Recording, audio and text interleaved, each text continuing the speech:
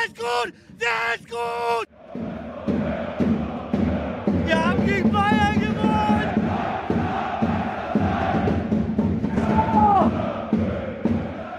Justin! Justin! Hi, Justin hier. Liebe Grüße an Nico, seine Community. Viel Spaß mit dem Video.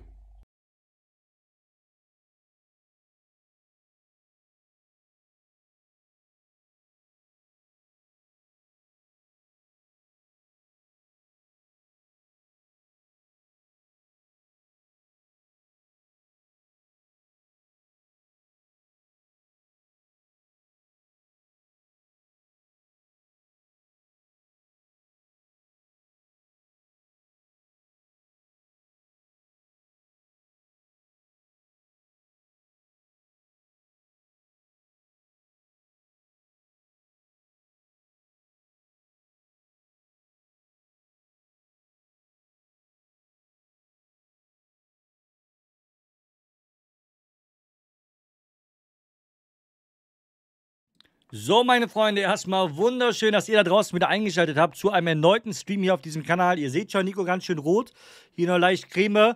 Ich habe Sonnenbrand, denn die Sonne scheint äh, anders als wie, ähm, ich wollte gerade sagen, scheint uns aus dem Popo, äh, anders wie aktuell bei Werder. Aber, naja, wir haben heute einiges zu besprechen, also wirklich, wirklich einiges zu besprechen. Ähm, zum einen wollte ich mal so eine kleine Streichliste durchgehen. Wen kann man denn oder sollte man vielleicht auch für die kommende Saison streichen? So, äh, da einfach mal mit dem Stammtisch drüber zu reden. Das ist heute so das angedachte Thema oder eins der angedachten Thema. Viererkette könnte das in der kommenden Saison wirklich eine Idee für uns sein. Dem Mann hat nämlich, und das fand ich sehr, sehr interessant, tatsächlich in einer Viererkette gespielt. Ja, richtig. Unser Demann, wo wir sagen, ja, hör mal, wir können doch keine Viererkette spielen. Wir haben ja nicht die Aussetzer voll. Demann hat in der Viererkette bei Belgien gespielt. Beim Länderspiel und sogar durchgespielt, was mich sehr für ihn gefreut hat. Ähm, ich werde jetzt gleich nebenbei, muss ich noch Abendbrot essen. Ich habe es vorher überhaupt nicht geschafft, aber äh, ich hoffe, ihr verzeiht mir. Und ähm, genau, lasst alle schon mal Liebe da, indem ihr alle schon mal ein Däumchen da oben direkt zu Beginn drückt. Einmal die 100 Likes voll. Das ist übrigens auch so ein Bremen-Oberteil, vielleicht kennt ihr das. Ähm, einmal die 100 Likes schon mal voll machen. Gerne ein Abo da lassen. Und dann gehe ich gleich direkt rein in den Stammtisch. Äh, Themen, die wir noch haben. Jetzt muss ich gerade selber überlegen. Viererkette. Ach ja, Wolfsburg-Spiel, Testspiel noch, genau. Testspiel und Wolfsburg-Spiel noch. Also Testspiel, Wolfsburg-Spiel, Streichliste, Viererkette. Das sind die Themen des Tages. Damit ähm, wollen wir heute hier reinstarten, sage ich mal. Ich glaube, das hört sich alles erstmal so an, als ob man es machen könnte. Ne? So, habt ihr schon das neue Deutschland-Trikot? Ja, schreibt es doch mal rein, ob ihr schon das neue Deutschland-Trikot habt. Ich würde es mir gerne kaufen, ich finde es aber wirklich teuer und ich, bei mir, ich müsste wirklich Abstriche machen, das muss man schon so sagen. Äh, ich hatte eigentlich überlegt gehabt, ähm, für mich und den kleinen Schrägstrich, dass meine Frau und ich uns ein Trikot teilen, das zu holen. Aber wenn wir für jeden ein Trikot holen, sind wir bei 450 Euro ohne Flock ohne Vlog. Das ist halt einfach viel zu viel Kohle, muss man so sagen. Deswegen werden wir wahrscheinlich nur ein Trikot holen. Müssen wir auch da mal gerade gucken, weil das schon, ist schon heftig, ne, die Preise. Weiß nicht, wie es bei euch geht, aber Matthias hat es auf jeden Fall schon geholt. Deswegen Glückwunsch schon mal an Matthias. Ich hoffe, das Trikot steht ja auch. Wunderbar, mein Matthias. Manfred, mein Lieber, moin in die Runde. Schön, dass du wieder am Start bist, mein Lieber. Knutscher, wunderschön, dich zu lesen. Michael ist auch am Start, sehr cool. Schlingemaru, Whistler. Whistler, mein Teddybär, ist auch am Start. Marcel auch da. Das freut mich doch wirklich. Äh, ist man schon mit 100 Euro dabei echt heftig. Ja, bei dem, bei dem nicht-Originalen ähm, sozusagen, ne, ist man bei 100 Euro. Dem Originalen 150. Das ist schon, schon heavy, finde ich. Aber äh, ja, so, das auf jeden Fall dazu. Ähm, dip, dip, dip. Äh, ist, ah, oh, ich, soll ich euch eine Ankündigung droppen, Freunde? Soll ich euch etwas droppen? Ich werde am Wochenende wahrscheinlich so ein Endlevel geiles Video für euch aufnehmen. Oh mein Gott, da könnt ihr euch richtig, richtig drüber freuen. Aber ich will noch gar nicht so viel zu verraten. Ich sag's noch nicht. Ich sag's noch nicht, ihr müsst euch überraschen lassen. Ihr müsst euch überraschen lassen. So, ich hole jetzt erstmal die Leute rein, nach und nach. Wir fangen mit meinem Holgerchen an. Holger! Nico. Na, alles klar. Ja. Das ist auch wunderbar. Hast du die Sonne wieder. heute genossen? Ähm, ja, so ein bisschen. Also ein bisschen war ich draußen, aber Ja. Ich Die hoffe. Nachwehen, die Nachwehen. Ja, ne? ich weiß. Testspiel sowieso Ja, kann man, das ist ja Dino, mein Lieber. ja. Ich grüße euch. Hallo, hallo. Hallo, hallo. Uh, Chris ist wieder am Start. Ei, das geht ja hier heute. Chrissy Boy. Hallo? Hallo. Boah, das ist schon wieder so, das ist schon dieses Abgefuckte, weißt du, Chris? Das ist schon so eine Art Hassliebe zwischen uns hier. So, andere sagen so, Hallöchen, na, mein Großer, wie geht's dir? Wie war dein Tag? Du so, hallo. So. Das ist so ja, ich bin, ich bin Ja, gezwungen. wir haben ihn so, auch okay. ein bisschen fertig gemacht. So, ne? Ach so. und, und ihm auch Habt unterstellt, das dass Chris eventuell HSV-Fan ist. Also, Oh. Das haben wir gar, das haben Aber- wir gar nicht gesprochen. Dino schreibt mir auf einmal eine Nachricht, das muss man sagen, der schreibt mir am Mittag eine Nachricht und schreibt wegen Stammtisch heute und sagt, ja, du bist ja sowieso HSV-Fan. Ich habe ihm nur geantwortet, ich weiß nicht, ob heute der Stammtisch ist. Und er schreibt, du bist sowieso HSV-Fan. Nee, nee, nee, Ich der denke, genaue was willst du von mir? Der genaue Wortlaut war, warte. Äh, Wir wissen ja eigentlich, wir wissen ja alle, dass du eigentlich HSV-Fan bist. Aber Ja, guck das mal dir. ganz- also, schick mir irgendein ja? Video. Äh, Ja, ich hab, ganz kurz, ich habe erstmal alle gerade reingetan. Ich hoffe, ihr hört äh, uns alle, dass das alles hier funktioniert. Start. Jawohl, wunderbar. Das klingt doch gut. Ähm, ich habe gerade gelesen, ob ich die Discord-Nachricht gesehen habe. Freunde, ich kriege Discord von Discord keine Benachrichtigung, wenn ich eine Nachricht bekomme. Das heißt, genau, dann so wie jetzt einfach im Chat reinschreiben, dass ihr eine Nachricht geschickt habt. Ich äh, screenshotte mir das und schaue später in meine Nachrichten rein. Und dann werde ich die mit Sicherheit auch lesen. Äh, wahrscheinlich unter Nachrichten anfragen dann, ne? Genau. Ich werde mir das später mal durchlesen, mein Lieber. Ja, guck mal, ich mache mir schon mal einen Screenshot, dann weiß ich Bescheid. So, ähm, wir fangen jetzt gleich erstmal an. Also, die Themen des Tages heute sind: Zum einen machen wir eine Streichliste für den Sommer. Ja, ich denke, Länderspielpause, äh, das sind immer gute Möglichkeiten, genau für sowas auch.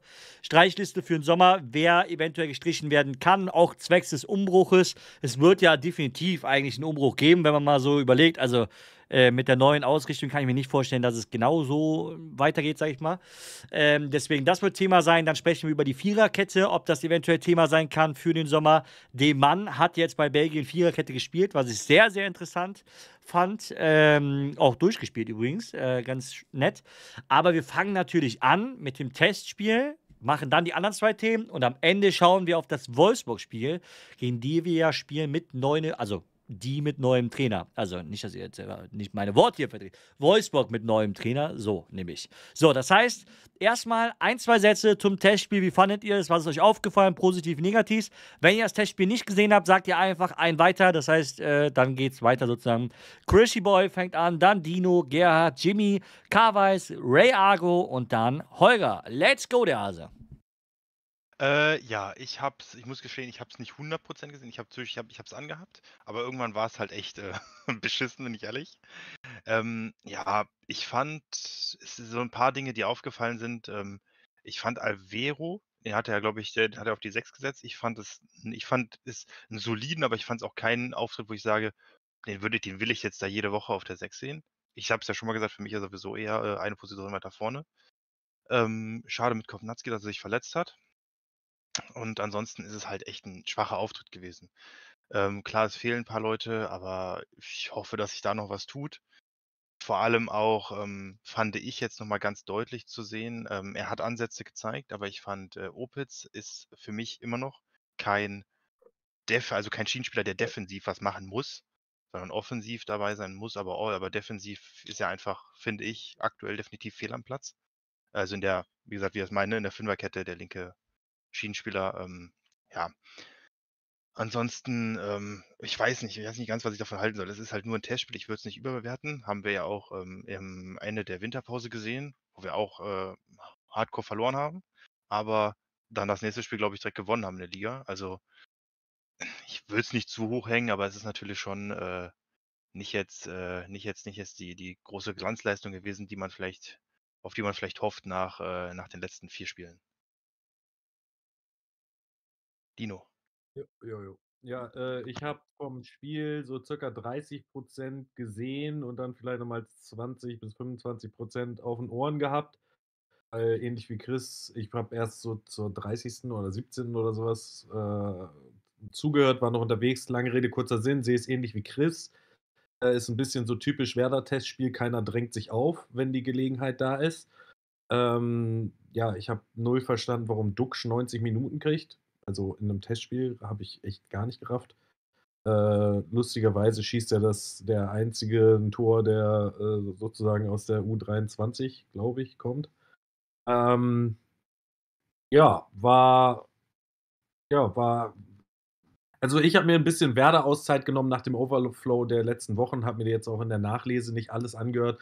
Äh, was Chris gerade über Skelly gesagt hat, kann ich schon nachvollziehen. Mir war klar, wenn Skelly jetzt 90 spielt, äh, dann werden wir da auch Hänger sehen, weil auch als Voltemate damals raufgekommen ist, hat der auch gefühlt immer nur Luft für 60, 70. Keine Ahnung, wo das, äh, woran das liegt. Äh, ja, soweit meins zum, also dass wir 3-1 verlieren, muss halt auch nicht sein. Da wirkt es nicht mit Aufbäumen, vor allem wenn wir jetzt gegen Hasenhüttel, Fresche, Wolfsburger spielen. Die werden vollgepumpt kommen und bei uns ist Werner jetzt nicht der größte Motivator. Ich habe es jetzt sowieso jetzt, ich plane so, das hört sich auch total absurd an, genau wie wir gerade darüber diskutiert haben, dass Gerhard gegen Werder tippt beim Tippspiel, was ja mal gar nicht geht. Größte Frechheit, ja. Ja, aber Weiß ich. aber äh, die, äh, ich habe ich hab jetzt so eine Theorie entwickelt, wenn ich Werner weghaben möchte, ich ganz persönlich zum Sommer als Teil des Umbruchs, dann müsste Werder jetzt eigentlich quasi nur noch Scheiße spielen und deswegen ist jetzt für mich eine Win-Win-Situation. Wenn Werder Scheiße spielt, kann es ganz, ganz, ganz eventuell sein, dass Werner rauskommt. Wenn Werder gewinnt, auch okay so. Ähm, bin ich tatsächlich jetzt mit dem Rest der Saison zufrieden. Äh, zum Schluss würde ich ganz gerne noch sagen, vielleicht können wir als Thema auch kurz dieses Hubertus Hess Grunewald Machenschaften interner. Wir wissen alle nichts, aber Ja, ist ja halt. Stammtisch. Und finde ich geil. Gerhard, du das bitte. Jo, ich habe mir nachhinein das Spiel angeguckt. Ich habe hab dann im Internet gesehen, dass Bremen verloren hat. Ich, dann bin ich aber trotzdem noch mal auf YouTube gegangen und habe mir gesagt, ich muss mir das Spiel der trotzdem noch mal reinziehen, dass ich den Montag ein bisschen mitquatschen kann. Ne, bevor ich das Spiel überhaupt nicht sehe und weiß, weiß gar nicht, wie die gespielt haben, ob das Spiel gut gelaufen ist oder schlecht. Also, ich wurde nicht enttäuscht. Die haben noch schlechter gespielt als die anderen Spiele schon. Ich wusste gar nicht, dass das noch schlechter ging. Ne? Ja, Alvero, das war der Einzige, der mir eben einigermaßen gefallen hat. Opis nach vorne eigentlich auch noch einigermaßen. Ne, aber wenn ich den Leo sehe und die anderen, äh, Amos Pieper, der das eigentlich nach seiner Verletzung eigentlich auch ganz gut gemacht. Ne, aber Weise und die anderen, der ganze Rest, so, weiß nicht. War, war nicht mein Ding, fand ich nicht gut, fand ich absolut schlecht. Keiner hat sich aufgedrängt. Ich bin immer die Meinung, wenn wenn du solche Testspiele hast und da dann auch mal Spieler reinkommen, die nicht so oft spielen, just die müssen dann richtig brennen, ne? um auch richtig Leistung zu zeigen und zu zeigen, hier Trainer, ne? Jetzt kommst du langsam an mir nicht mehr vorbei, aber da hat sich auch keiner aufgedrängt. Ne, da kann man sich im Grunde genommen auch fragen, ja, ne, wenn Ole Werner sich dann hinstellt sagt, ja, da drängt sich ja keiner auf, wen soll ich denn reintun? Ne? Da muss, muss man dann langsam auch Ole Werner dann wieder recht geben, obwohl ich den eigentlich überhaupt kein Recht geben möchte, weil ich möchte den lieber weghaben ne, und da einen neuen Trainer sehen, der mehr aus der Mannschaft rausholt. Ja, viel mehr habe ich zum Spiel nicht zu sagen, der nächste bitte.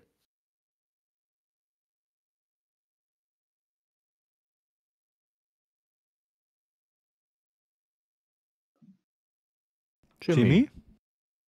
Oh, bin ich schon dran? Ja. Wozu soll ich mich denn zuerst äußern? Zum Testspiel? Testspiel. Testspiel, okay. Oh, ich habe es mir leider angeguckt und äh, ich merke mir eigentlich nur Sachen, von denen ich etwas lernen kann. Äh, das, äh, dieses Testspiel war dazu gänzlich ungeeignet. Ich weiß auch nicht, welche Rückschlüsse Werner sich von so einem Testspiel verspricht in der Formation, was er da testen wollte. Aus meiner Sicht war das eine bessere Fitnesseinheit für Spieler, die jetzt gegen Wolfsburg gefragt sein werden, wie Alvero zum Beispiel. Und äh, ich sehe das ähnlich wie die, wie die Vorsprecher. Ähm, eigentlich äh, wie die ganze Saison schon, dass immer die, die neu reinkommen in die Mannschaft, immer die Lichtblicke sind. Äh, das scheint wohl irgendwie schon so ein, keine Ahnung, so eine Regel zu sein bei Werder, eine Gesetzmäßigkeit bei Werder. Und irgendwie werden die dann über die ganzen Wochen, Monate, wenn sie zu lange in der Mannschaft sind, von diesem Werner-Virus befallen und bauen dann wirklich schrittweise ab, ähm, können dann nicht mal mehr das, was sie schon zu Beginn äh, ihrer ersten Auftritte gezeigt haben. Und das ist für mich etwas völlig Unerklärliches. Äh, dass Spieler dann plötzlich auch das, was sie schon früher gezeigt haben, auch in ihren vorigen Mannschaften gänzlich zu verlieren scheint, weil die Sicherheit weg ist, weil äh, die Lust weg ist, die Begeisterung weg ist und ähm, ja, das, äh, der Höhepunkt der, dieses Trauerspiels war für mich schon relativ früh mit der Verletzung von Kovnatski, weil mir die Reaktion, seine Reaktion auf eine Verletzung, die er hat, gezeigt hat, dass dieser Mensch völlig isoliert ist. Vielleicht auch in der Mannschaft, vielleicht überhaupt keine Beziehung zu dem Trainer hat, zu Mitspielern hat. Für mich ist, ist der Mann verbrannt bei Werder. Und deswegen hoffe ich, auch so wie die Vorsprecher, äh, dass, dass wir auf der Trainerbank einen sauberen Cut machen im Sommer. Jetzt unabhängig vom Ausgang und sich man darauf verständigt, man spielt die Runde hier zu Ende. Hoffentlich verbleibt man in Liga 1 und sagt dann, hier trennen sich unsere Wege, wir haben gut und erfolgreich zusammengearbeitet, aber wir wollen mit unserer neuen Geschäftsausrichtung einen äh, innovativeren äh, Trainer auf der Bank haben, der zwischen verschiedenen Systemen switchen kann, der seine Systeme auch adaptieren kann auf das Spielermaterial, was ihm zur Verfügung steht, wöchentlich oder über die Saison.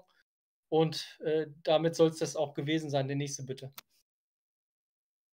Ja, ich habe es mir leider auch angeguckt, das Testspiel, und zwar über die ganzen 90 Minuten. Und ich fand, ich fand es sehr trostlos und irgendwie auch hoffnungslos, wenn ich ehrlich äh, sein soll. Es schien für mich auch so, als ob manche Spieler keine Lust hatten, an den Tag äh, zu spielen. Das war richtig äh, eine Leistung ohne Inspiration. Und die einzigen Lichtblicke, die ich gesehen habe, waren wirklich Alvero und Keita auch. Hat mich sehr gefreut, ihn mal so 50, 60 Minuten äh, zu sehen. Und ich fand beide in der ersten Hälfte noch äh, die besseren aus einer schwachen Mannschaft. Leider haben bei den beiden äh, die Kräfte immer mehr nachgelassen in der zweiten Hälfte, sodass sie abgebaut haben. Und auch ein Opitz hat mir sehr gut gefallen. Ansonsten habe ich überhaupt keine Lichtblicke gesehen und ich verstehe auch der Sinn äh, eines Testspiels nicht, wenn selbst ein Marvin äh, 90 Minuten trotzdem durchspielen darf und nicht nur das, er hat auch dort alle Standards getreten. Selbst in einem unwichtigen Testspiel durfte kein anderer äh, sich da ausprobieren. Habe ich überhaupt nicht verstanden. Und auch und auch diese Kovnatski-Auswechslung war auch irgendwie sehr komisch, weil, weil er plötzlich rausgegangen ist und es schien so, als ob keiner darauf vorbereitet war. Der eingewechselte Stay brauchte fast fünf Minuten, um reinzukommen. Also, das fand ich auch sehr komisch. Und ich muss auch sagen, ich habe das Testspiel schnell abgeschrieben, als ob es nicht passiert wäre, weil ich mir dadurch nicht das Wochenende versauen wollte. Und bis auf Skelly und Cater und Opitz hat sich auch keiner so richtig aufgedrängt. Mal jetzt vom Ergebnis komplett abgesehen. Ja, der nächste bitte. Ja, danke Karl Weiß. Moin in die Runde. Äh, ja, Testspiel habe ich zu 70 Prozent gesehen. Ähm, ab und zu war ich mal auf Toilette. Und ähm, ja, groß was mitnehmen kann man eigentlich nur, dass äh, man jetzt oder auch selbst der letzte Pavlenka-Fanboy versteht, warum der auf der Bank sitzt, ähm, weil der am Ball überhaupt nichts kann. Also der hat sich ja einmal fast selber die Murmel da reingestokelt und ähm, beim 3-1 selber, das war zwar ein Konter, aber da flog der Ball für mich auch irgendwie in Zeitlupe, äh, da vom Strafraum-Eck da in die lange Ecke. Ähm, eine Zahnspalterei, ob man den halten kann oder nicht, aber ähm, selbst ich, äh, der nach dem Dortmund-Spiel oder auch äh, nach dem Köln-Spiel, ähm, ja, zumindest also nicht am Zweifeln war an Zetterer, aber halt sich äh, überlegt hat, okay, Zetterer sollte sich vielleicht ein bisschen mehr konzentrieren, auch dagegen Darmstadt das Ding, auch wenn er viele gehalten hat. Ich war auch immer nach wie vor froh, dass er drin war. Äh, hier im Umkreis haben dann manche aber schon geungt und, ges und äh, gesagt, okay, ähm, vielleicht kann man ja wieder Pavlenka reinpacken. Da habe ich dann gesagt, ja, wie oft willst du, willst du den Torwart denn wechseln? Äh, aber spätestens jetzt ist da, glaube ich, Schicht im Schacht. Ähm, ja, bei, bei äh, Keita äh, habe ich jetzt verstanden, was Dino letzte Woche meinte, äh, dass wenn der läuft, sieht das so aus, als ob der im Schlamm steckt. Das äh, habe ich ähnlich gesehen. Der hatte letzten Endes hatte der ein Tempo, wie das auch die Deichstube da irgendwie äh, schrieb, auch wenn gleich die mir etwas zu negativ mit ihm umgesprungen ist. Aber klar ist, glaube ich, auch, dass, äh, wenn er halt jetzt lange raus war und auch irgendwo auch Angst hat, dass er sich immer wieder verletzt, also die letzte Explosivität halt nicht vorhanden ist. Aber es war schon okay, auch dass er länger gespielt hat. Ansonsten kannst du nicht groß viel was rausziehen aus dem, aus dem Testspiel. Nur eben diese Kovnatski-Aktion, die fand ich auch komisch. Kein Signal. Äh, selbst der Schiedsrichter wusste nicht, was Sache ist. Der äh, hält sich da den Oberschenkel, geht vom Platz, guckt sich nicht um, macht kein Zeichen. Der Macker hat einfach komplett die Schnauze voll und ähm, ist auch komplett raus, so wie das die Vorredner auch sagten. Ähm, ja, finde ich nicht gut, aber interessiert keinen. Von daher der nächste bitte. Ja. Ich fand das Testspiel sehr interessant. Das gesehen in voller Länge. Interessant in viele Richtungen, muss ich sagen. Ähm, in einige positive Richtungen. Ich habe einen guten Gary Alvero gesehen in Ansätzen, immer wieder mal. Navigator fand ich auch gut, ehrlich gesagt. Also die Umständen entsprechend für sein erstes Spiel nach so langer Zeit. Überraschend gut. Der einzige, so ziemlich gewesen, der Impulse nach vorne immer gebracht hat, weil was Spritziges gebracht hat. Also nicht spritzig im Sinne von äh, Antrittsschnelligkeit, sondern mehr so von Spielideen her. Da war er, was den Antritt betrifft, wirklich sehr, sehr einförmig ähm, und macht da den Eindruck, dass er wie sich selber schützen will, die sich, sich nicht traut, so richtig anzuziehen und diese knackigen Bewegungen zu machen. Opels fand ich auch gut in Ansätzen und dass einige äh, Leute Spielpraxis bekommen haben seit langer Zeit mal wieder. Das war schön in dem Spiel. Gab aber auch so ein paar Dinge, die mir mehr als überdeutlich gezeigt haben, ähm, dass wir in dieser Saison äh, Spieler auf dem Feld haben, die da nicht hingehören in dieser, Ich habe nach dem Spiel den Nachbericht der Deichstube gesehen, der hat mich sprachlos gemacht. Da wurde dann auf dem Navigator rumgeritten, äh, ellenlang gefühlt, den ganzen Bericht lang, weil der absolut nicht spritzig war. Und äh, Marvin Duksch hat, Entschuldigung, den absoluten Oberscheiß gespielt in diesem Spiel. Ich habe jetzt seit zehn, zehn Pässen auf, Fehlpässen aufgehört zu zählen. Nach zehn Fehlpässen alleine schon. Und äh, die versprungenen Bälle und Verstolperer zähle ich da gar nicht erst rein. Das war ein absoluter Gruselauftritt. Und der durfte 90 Minuten durchspielen, hat jeden Standard geschossen. Ähm, da frage ich mich dann auch, ähm, was ist da die Idee von so einem Testspiel so ein bisschen. Ne? Und äh, ja, das hat mich so ein bisschen ernüchtert, muss ich sagen. Nicht nur das Ergebnis, sondern auch die Art und Weise, wie wir gespielt haben. Das war schon echt erschreckend. Ähm, zu Kovnatski muss ich auch sagen, ich kann das fühlen, was der Junge da gemacht hat. Ich schätze, es war eine Oberschenkelverletzung im hinteren Oberschenkel. Das kann passieren, wenn dann Muskelbündel reißt, dass er merkt, geht nicht mehr, hat, äh, ist vorbei, dann direkt vom Platz geht. Aber ähm, auch die Aktion, warum er gleich geht, diese, dieses gefrustete, er muss sich jetzt zerreißen, um überhaupt Minuten zu kriegen. Ne? Und selbst dann wird nicht äh, für ihn gesetzt. Äh, so fühlt sich das auch an. Ähm, das war es, glaube ich, bei ihm. Und äh, ich gehe damit, ich glaube, der Junge ist hier verbrannt unter diesem Trainer. Solange Ole Werner hier Trainer ist, wird er hier, glaube ich, nicht mehr, nicht mehr zünden, so leid mir das tut. Ja, ich bin ernüchtert nach dem Spiel, muss ich ehrlich sagen. Ein Stück weit traurig auch. Und ähm, ich sehe da äh, mittel- bis langfristig leider, leider reiche auch schon länger unter Ole Werner leider kein Licht für Werder Bremen in der Entwicklung. Ja, danke. Also erstmal danke euch allen für eure Meinungen. Äh, Chat, ihr könnt natürlich auch gerne mal reinschreiben, wer euch vielleicht positiv, wer euch negativ aufgefallen ist im Testspiel. Äh, es würde mich auch wahnsinnig freuen. Äh, macht gerne bei der Umfrage mit, äh, weil das eben gleich noch Thema wird. Ist im Chat angepinnt. Und wie gesagt, gerne alle, alle die jetzt auch mal hier schon äh, oben rumgedrückt haben, auch mal auf den Daumen nach oben drücken. Und dann sage ich auch noch mal ein, zwei Sachen zum Testspiel. Zum einen fangen wir mal beim Kovnatski-Thema an. Ähm, ich habe auch ja direkt bei der Analyse danach gesagt, fand ich, sah sehr komisch aus ohne Signal nach außen, einfach direkt in die Kabine rein. Fand aber auch sehr komisch, wie die Trainerbank so reagiert hat. Alle gucken nur so nach. Ein Physio läuft hinterher. Ähm, das äh, ja, war einfach alles irgendwie ein Stück weit komisch, kann aber, und ich will es gar nicht so als Kritik äh, dastehen lassen, sondern kann ihn eben auch verstehen, wenn du direkt merkst und als Profi, äh, je nachdem, ob wenn du zum Beispiel eine bestimmte Verletzung schon mal hattest, merkst du sehr schnell, äh, wenn diese Verletzung zum Beispiel wieder da ist oder eine ähnliche. Ähm, das kann, kann ich damals auch sehr, sehr gut mit meinem Knie. Sobald ich da irgendwie ein Ziehen gespürt habe, wusste ich eigentlich meistens direkt, was es war. Da hätte ich gar nicht zum Arzt gehen müssen für. Ähm, und deswegen kann ich das in dieser Richtung sehr verstehen. Muss aber sagen, auch vor dieser Verletzung fand ich Kovnatski wieder sehr blass. Und ich muss auch sagen, in all den Einsätzen in den letzten Wochen fand ich den sehr blass. Der kann natürlich keine Wettbewerbspraxis haben, ist klar. Ähm, ich glaube, dass man ihn nicht jetzt gerade verschwendet hat, sondern am Anfang der Saison verschwendet hat, wo er dann auch teilweise gar nicht reinkam. Jetzt kommt er ja immer wieder rein.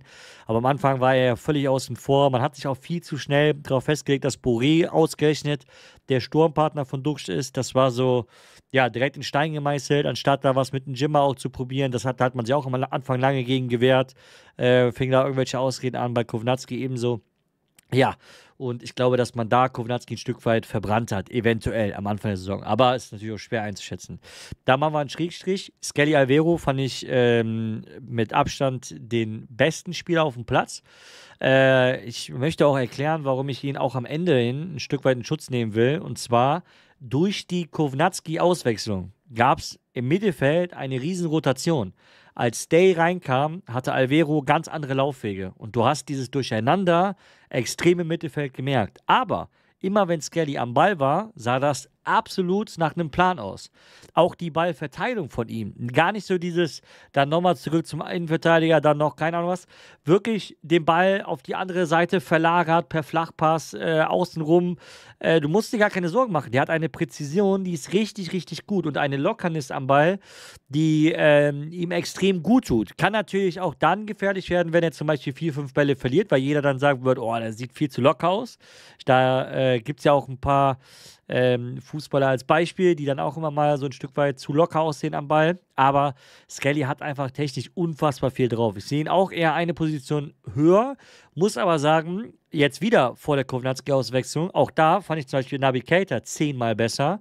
Ich fand ihn nur dann im Sturm nicht mehr so gut, weil er ja auch kein Stürmer ist. Er ist ein Spieler, der bockt das Feld vor sich. Also du brauchst ihm ja alle seine Stärken, indem du ihn im Sturm stellst.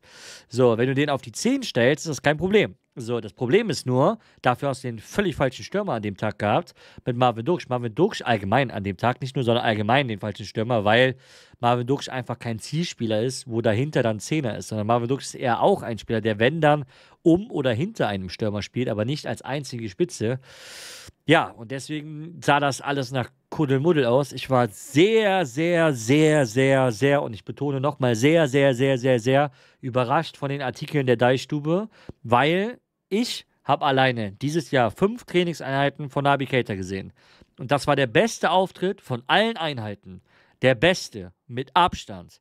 So, die Deichstube ist jeden Tag vor Ort. Jeden Tag. So, hat aufgrund dieser Kenntnisse, die man ja trotzdem auch im Training gesammelt hat und alles, erst eine Woche vor dem Testspiel noch kritische Fragen auch bei der PK gestellt. Und jetzt auf einmal wird gesagt nach dem Spiel, oh ja, jetzt kann man ja vielleicht doch Ole Werner äh, verstehen. Auch wir haben ja die letzten Wochen gefragt, vielleicht sollte man da einfach dem Trainer vertrauen. Das klingt für mich extrem nach einem gestellten Satz, egal in welcher Form, aber das ist einfach auf mich persönlich wirkt es so, ich will niemandem was unterstellen, damit das auch ganz klar ist, aber das ähm, ist für mich völlig unglaubwürdig, äh, nachdem man eigentlich jeden Tag ihn auch beim Training sieht. Und nochmal, er hat da mit Abstand den besten Auftritt, auch, auch mit Afrika Cup. Jeder, der den Afrika Cup gesehen hat, kennt Nabi Keita auch da. Auch da gab es ein Tempo, auch da gab es nichts Neues wie jetzt in dem Spiel. Nur, dass er in dem Spiel sogar auch mal die eine oder andere Bewegung ausgepackt hat. Einmal an zwei Mann vorbei, einmal einen tiefen Ball gespielt, den Zweikampf reingegangen. Ich erinnere da auch an die Stelle, wo der, ich weiß gar nicht, welcher Abwehrspieler da von Hannover den umarmt hat und äh, Nabi Keita stand festgeblieben, ist nicht gefallen, wollte weitermachen, trotz Trikot ziehen und so weiter. Der wollte da was zeigen. Und jedem sollte nach diesem Auftritt klar sein, den Typ kannst du auf jeden Fall die letzte halbe Stunde reinschmeißen. Ohne Probleme. Keiner verlangt von ihm, dass er jetzt 90 Minuten durchspielen muss oder direkt ähm, volles Rohrtempo geben muss. Aber den kannst du ganz problemlos 30 Minuten spielen lassen. Hundertprozentig. Warum denn nicht? So, technisch einwandfrei, Auge für Mitspieler und hat sich mit, äh, mit Alvero super ergänzt. Alvero hat so ein bisschen, hat mich so ein bisschen daran erinnert zu David und Goliath irgendwie. Äh, Alvero macht so die Drecksarbeit von Nabi Keita, räumt den alles frei. Äh, Gab es auch so eine Szene, die sehr geil war. Da stellt Skelly dann seinen äh, kompletten Körper einfach in den Laufweg von, von dem Gegenspieler, macht Keita alles frei. Keita nimmt den Ball und spielt ihn weiter. Genau so habe ich mir das vorgestellt. Sah geil aus durcheinander und komisch wirkte es erst dann, als äh, Kovnatski rausgegangen ist. Weil, wie gesagt, also zum einen Alvero Stay neben sich bekommen hat, der ganz andere Laufwege und ganz andere Wege allgemein im Mittelfeld gemacht hat. Und Nabi Keita eben im Sturm spielen musste. Ne? Also das ähm, finde ich hier ganz, ganz wichtig nochmal zu sagen und zu erwähnen auch. Ähm, für mich da auch wieder fraglich. Ähm, ich, man weiß ja, vorher hat man extra auch auf den Gymmer und so weiter verzichtet, wegen Belastungssteuerung. Aber dann nimm doch ruhig mal einen offensiven mehr aus der zweiten Mannschaft mit. Ähm, einen Stürmer als Ersatz mitzunehmen, weiß ich nicht. War dann vielleicht auch ein bisschen mutig. Ich verstehe irgendwo den Ansatz, weil ich denke, dass man Kovnatski durchspielen lassen wollte in diesem Spiel. Und dann hätte man vielleicht auch Dux rausgetan. Deswegen kann es sein, dass deswegen Dux drin geblieben ist. Jetzt kommen wir aber zum zweiten Part des ähm, Deichtum-Nachberichts. Äh, Navigator kriegt einen 80% Anteil irgendwie geschrieben und weiß ich nicht. Aber warum wird Dux nicht mal erwähnt? So, wie, wie, wie kann das sein nach dem Testspiel? Beim besten Willen, egal wie man zu Marvin Dux steht, völlig egal. Ich habe auch gar kein Problem damit, wenn man sagt, ey, äh, Top-Typ und so. Alles, alles gut, alles kein Problem. Aber beim allerbesten Willen, das war eins der schlechtesten Spiele von Marvin Dux, die ich seit Wochen gesehen habe. Und das heißt schon was. Der hat allein in der ersten Halbzeit zwölf Fehlpässe gespielt, wovon die Hälfte zu einem Konter von Hannover geführt hat. Also wie man da nicht mal das erwähnen kann, aber über Cater rumhackt und dass der nur ein äh, Tempo hat, war für mich ein Stück weit unerklärlich, muss ich wirklich sagen. Also das ist alles aus meiner Betrachtungsweise. Wie gesagt, ich bin gerne dabei, ich nehme gerne auch Gegenkritik an, wenn jemand das anders gesehen hat als ich, gar kein Thema, können wir gleich gerne offen drüber reden. Aber das waren Punkte, die mir total aufgefallen sind, die ich auf jeden Fall hier ansprechen wollte, weil ich finde, dass das auch ein Stück weit untergegangen ist und danach auch ähm, der Medienbericht sozusagen so ein bisschen totgeschwiegen worden ist. Es war schon ja, weiß ich nicht, ein Stück weit schwierig äh, für den Kopf. Ja, das zum Testspiel, alles im Allen. Äh, wie gesagt, Cater für mich auffällig, ersten 30 Minuten gut, äh, für 30 Minuten absolut ein Thema. Skelly Alvero musste in die Startelf gegen Wolfsburg so oder so, allein aufgrund der Ausfälle top. Ähm, Finde ich auch am Ball, wie gesagt, ganz, ganz große Klasse. Ich glaube, dass der alle noch überzeugen wird, auch Chris noch überzeugen wird. Liebe Grüße an Chris. Ähm, der wird, glaube ich, wirklich seinen Weg machen, auch bei Werder noch machen. Pavlenka äh, will ich gar Wer nicht jetzt? zu. Äh, äh, Grüße waren an dich, Chrissy Boy. Nee, ich meine, aber Ähm, welche, wen meinst du, welchen Spieler meinst du, sorry? Hä? Alvero. Alvero Ah, okay. wird noch alle überzeugen, habe ich gesagt. In Zukunft. Äh, Die Ansätze sind auf jeden Fall da. Äh, auf jeden Fall, Pavlenka will ich gar nicht zu sehr kritisieren, denn ähm, der hat keine Spielpraxis. So, der hat fußballisch, weiß man ja, dass er da nicht so viel kann. Ich glaube, dass hier aber zusammenkommt, dass er trotzdem ein bisschen was zeigen wollte, muss man einfach so sagen. Ich glaube, er wollte den Einzel ansetzen, kann er aber einfach nicht. So, äh, ist so, aber trotzdem nie vergessen, der hat uns jahrelang den Arsch hinten freigehalten, etc. Ist auch die Eins, ist auch zu Recht die Eins, aber trotzdem habe ich für mich jetzt kein böses Blut zu Pavlenka oder sonst was. Ähm, alles im allen ist es ein Testspiel. Trotzdem sind es vier Niederlagen in Folge, ein Unentschieden gegen Darmstadt. Ähm, ja, wa- was einfach den Negativtrend klar zeigt in den letzten fünf Spielen. Wolfsburg ist ein Knackspiel, jetzt gerne in den offenen Talk rein. Wer möchte als erstes was sagen? Ja, ich würde gerne kurz direkt zu Kovnatski, weil es ja gerade eben noch angesprochen Du wurde. darfst. Ähm, ich glaube nicht, dass er da irgendwie, ich glaube nicht, dass Kovnatski da irgendwie verärgert ist auf, ähm, weil er, weil er wenig Spielzeit sonst bekommt. Natürlich wird ihn das nicht, wird ihn das nicht freuen, aber ich glaube, dass er so rausgegangen ist, ist eher, so wie ich ihn äh, kennengelernt habe, äh, weil ich kannte ihn ja schon aus Düsseldorf lange, ähm, dass er sich eher selbst darüber ärgert, dass er halt einfach verletzt ist. Ich glaube nicht, dass das irgendwas anderes damit zu tun hat. Ich glaube nur, dass es Kann gut absolut sein, ja. abgefuckt ist, dass er sich wieder, also, dass er jetzt halt gerade seine Chance hatte und direkt verletzt ist. Das fuckt ihn, glaube ich, am meisten ab. Ich glaube nicht, dass da irgendwas anderes jetzt groß mit reinspielt, sondern wirklich hauptsächlich die Verletzung. Und was ist das mit dem Alvero? Ich habe nichts gegen Alvero. Ich er überzeugt mich, aber ich sage halt, ich persönlich finde ihn nicht, er ist kein Sechser. Ich finde ihn eher auf der Ja, 8. ja da, da sind wir uns auch einig. Sechser, Achter. Ja, also genau. ich, ich sehe ihn auch eher als, in, also wenn man ihn in der Doppelsechs spielt, Doppelsechs. genau, Ja. Do Doppelsechs, aber dann auch gerne auch so ein bisschen mit nach vorne, sag ich mal, so Stay-mäßig dann auch Du kannst ihn nicht neben Cater auf eine Doppel-6 stellen. Ja, da sind wir. Ja, das, das, die Sache ist halt, genau das ist halt dann das Thema gewesen. Ne? Wenn du neben Kate auf Doppelsechs setzt, musst du halt damit rechnen, dass er den defensiven Part machen muss. Geht ja nicht anders dann. So, und Cater so ein bisschen der Freigeist ist, ne? Aber ich finde, dafür haben die es trotzdem in den ersten 30 Minuten, die haben noch nie vorher zusammen gespielt, so, haben Cater und Alvero das echt gut gemacht auf der Doppelsechs, finde ich. Also, wie gesagt, bis zur Auswechslung, ne? Ja, Äh, ich fand es jetzt auch nicht ja. unterirdisch, ne? Also ich fand es nicht Ja. unterirdisch.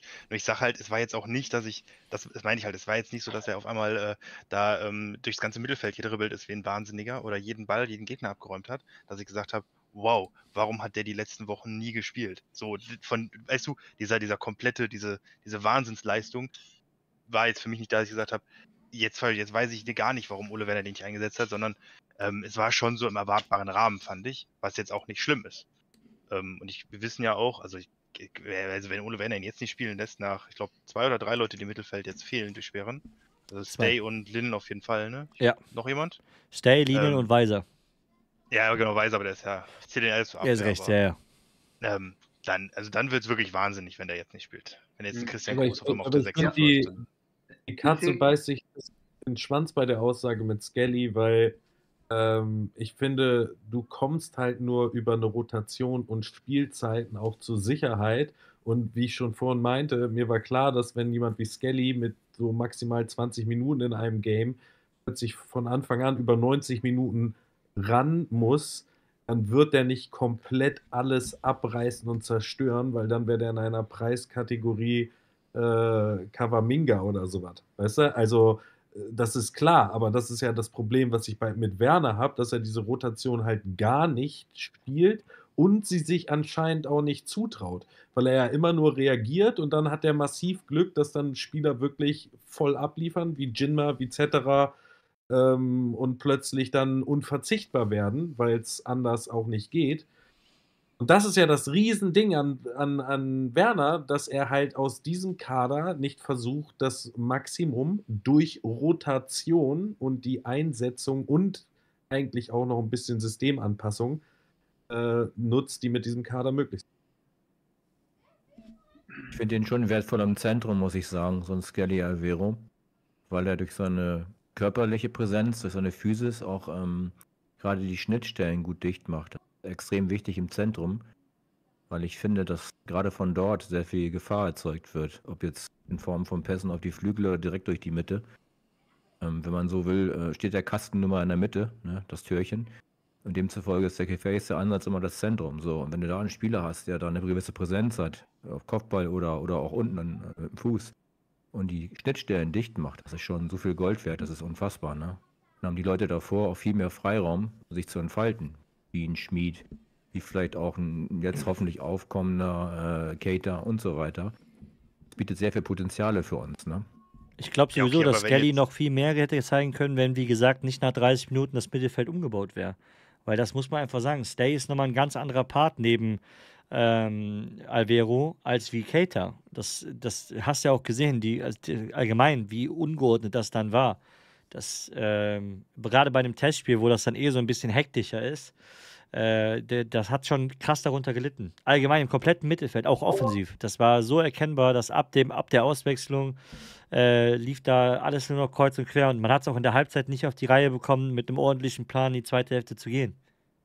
Ja, aber ist das nicht auch irgendwie Werner Original äh, Unterschrift, dass man nicht in der Lage ist, in einem Testspiel, wo man ja die Ruhe weg hat, so zu reagieren, wo es ja eigentlich nur um die goldene Ananas geht, dass man sagt, welche Erkenntnisse möchte ich aus diesem Testspiel ziehen? Ich wollte ja Keta Ja. testen.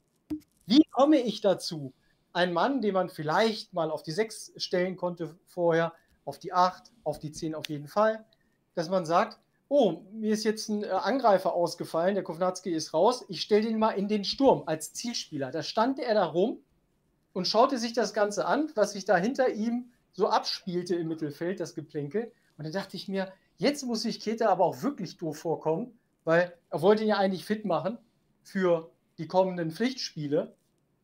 Und dann wird er in den Sturm gestellt. Und dann frage ich mich, was ist mit diesem, was ist mit diesem Trainer los? Was macht der da eigentlich? Was Ja. fabriziert er eigentlich? Aber Äh, du weißt halt, Die Auswechslung Ja. konnte ich aber auch nicht verstehen, ganz kurz bevor Chris. Ich konnte die auch nicht verstehen, weil die Maßen, ähm, ich, oder Joel, ich weiß nicht, wie man seinen Nachnamen ausspricht, äh, aber äh, den Stürmer aus der U23, ähm, hätte, den hast du ja später auch gebracht, den hättest du da eins zu eins bringen können, hättest du einfach zeigen können, weil eben genau dann das passiert, was Jimmy gerade auch gesagt hat, du wolltest Cater im Mittelfeld testen und er hat es die ersten 30 Minuten gut gemacht. So, danach gab es den Abfall. Ja, aber eben genau, auch wie Jimmy gerade gesagt hat, er spielt dann halt vorne als Zielspieler. Das, wie, wie soll das funktionieren mit Navigator? Ich meine, welches Signal sende ich jetzt an diesen Spieler, der im Fokus steht der Diskussion, der nach diesem Testspiel im Fokus der Diskussion steht und sich überhaupt gar nicht einbringen kann, weil er auf einer völlig positionsfremden, äh, äh, ja, in einer, auf einer fremden Position dann plötzlich den Rest des Testspiels bestreiten soll. Das wäre so, als würde man jetzt, keine Ahnung, äh, pff, jemand muss sich beweisen, der im Sturm spielt und den stellt man dann äh, als linken Verteidiger hin. Also Kai Havertz sozusagen, ja. So die Rolle. Und dann denke ich mir so, das ist das Signal, was man sendet, wenn man sagt, ja, du bist dabei, ich muss dir leider äh, Spielpraxis geben, damit äh, Ruhe ist. Ich setze dich auch ein, weil mir auch die Alternativen fehlen. Aber du wirst niemals in den nächsten Wochen für die 10 oder 8 in Frage kommen, sonst würde ich definitiv jetzt einen Wechsel vorbereiten, damit du weiterhin auf der 10 spielen kannst und dann jemand in den Sturm stellen, der Zielspieler ist, der ja vorhanden war, wie äh, Nico das ja richtig sagte. Und das zieht sich bei ihm so durch, auch bei Testspielen, wo man das Gefühl hat, es ist kein Zug drin, es ist keine Lust drin, weil jeder weiß aus diesem Kader, es gibt keine Möglichkeit, sich über ein Testspiel jetzt irgendwie an die Startelf zu spielen oder zumindest auf die Bank in den Kader. Und ähm, deswegen kommen dann Formationen zustande, bei denen man sich denkt, was will er jetzt eigentlich sehen? Und äh, die Einschätzung zu Alvero, die teile ich ja auch, wo man sagt, auf der 6, der dann wirklich die Tuchelsche Holding Six spielt, was eigentlich was völlig anderes ist. Also ich sehe das als abräumende äh, Position dann, die, die 6. Für mich ist der kreativ genug, in unserem sehr unkreativen Mittelfeld bislang eben eine, eine, einen Schritt weiter vorzugehen. Und Stay ist eben dieser völlig unkreative Spieler, der sich in jeden Zweikampf wirft, der viele Meter macht, Passwege zustellt und äh, den anderen Kreativen den Rücken frei hält. Aber auch das passiert ja bei Werner nicht. Und äh, irgendwann komme ich dann an das Ende dieser äh, ganzen Diskussion, in die man sich verheddert und überlege, ähm, es läuft so viel falsch. Und am Ende, wie Nico richtig äh, bemerkte, wusste die hiesige Presse in Bremen nur über den Fitnesszustand und den Nicht-Fitnesszustand von Keter zu berichten, obwohl die Probleme so vielschichtig sind im Werder-Spiel. Ja, also da muss man wirklich am Thema vorbei sehen und schreiben wollen, damit das nach so einem Testspiel so ausgeht nach den letzten Wochen. Ja, kann ich so unterschreiben. Auf jeden Fall. Naja, ich, ich muss, ich, ich, also wie gesagt, ich habe die zweite Halbzeit, ich war eher in der ersten Halbzeit drin als in der zweiten Halbzeit. Ähm, für mich ist da die Frage, deswegen, ich stelle es eher als Frage in den Raum und nicht als jetzt als Aussage, so wie ich das sehe. Ähm, wollte Ole Werner vielleicht da auch schon probieren, ähm, Cater als eher den Zehner beziehungsweise eine hängende Spitze spielen zu lassen. Ich habe, wie gesagt, das habe ich, äh, ist wahrscheinlich deutlich sehr sichtbar in der zweiten Halbzeit, weil ich habe es in der ersten dann am Ende gar nicht mehr so extrem wahrgenommen. Ähm, war das vielleicht die Idee und er wollte das ausprobieren und hat gesagt, ich probiere es jetzt einfach und es ist nicht gelungen, weil das muss man ja auch sagen. Es gibt ja, wir können ja nicht vorwerfen, dass jemand, ähm, dass wir, wir offensiv sind wir aktuell schwach. Ich glaube, das, das, das ist nicht zu leugnen. Ähm, aber kann es, da kann man, können wir ihm dann vorwerfen und sagen, ich probiere jetzt mal was. Und es war ja dann auch im Endeffekt nur für eine halbe Stunde, wenn ich die, ähm, wenn ich die Auswechslung halt sehe, dass er in der 60. schon runtergegangen ist. Beziehungsweise, ich glaube, 40. oder sowas kam, kam, erst, kam sogar erst Stay rein, also sogar noch weniger. Ähm, war es dann vielleicht eher so der Versuch, ich probiere es mal, ähm, auf den Verdacht, dass es sowieso nicht klappt, aber ich kann es jetzt lieber mal probieren im Testspiel. Das würde ich, da würde ich ja auch zustimmen. Wir haben ja auch bei der Aufstellung von äh, Nagelsmann dann gesagt, oh, der Havertz wieder vorne als äh, falsche Neun oder was auch immer. Im Nachgang hat, glaube ich, jeder verstanden, was die Idee war, immer zusätzliche Anschließstationen zu schaffen im Kurzpassspiel, um dann die Zehner in Position zu bringen und nachrückende Spieler dann in den Rücken der Abwehr. Das hat ja auch super ausgesehen. Man hatte mehr Ballsicherheit, nur für Gündogan war die Rolle halt nicht so optimal mit dem äh, Rücken zum Spiel oder ja, zum Tor. Und äh, aber ich muss sagen, üblicherweise gehen Spieler vom Angriff immer weiter zurück. Ja, ob es jetzt ein äh, Pirlo war oder andere Angreifer, die dann immer einen Schritt weiter zurückgehen. Dass man jetzt sagt, wir haben jetzt einen Keter, der im fortgeschrittenen Alter ist und der geht von der 6, 8 auf die 10 und dann aber auf die HS, ohne einen Zielspieler zu haben, sondern daneben noch einen Marvin Dux, den du nicht steil schicken kannst. Da, da zweifle ich, an dem Punkt zweifle ich dann, ob das wirklich äh, von, von äh, Werner irgendwie so eine Idee war, ja, Zehner, vielleicht ist er ja als hängende Spitze besser. Man muss ja dann auch Spieler haben, die man dann noch in der Lage ist einzusetzen.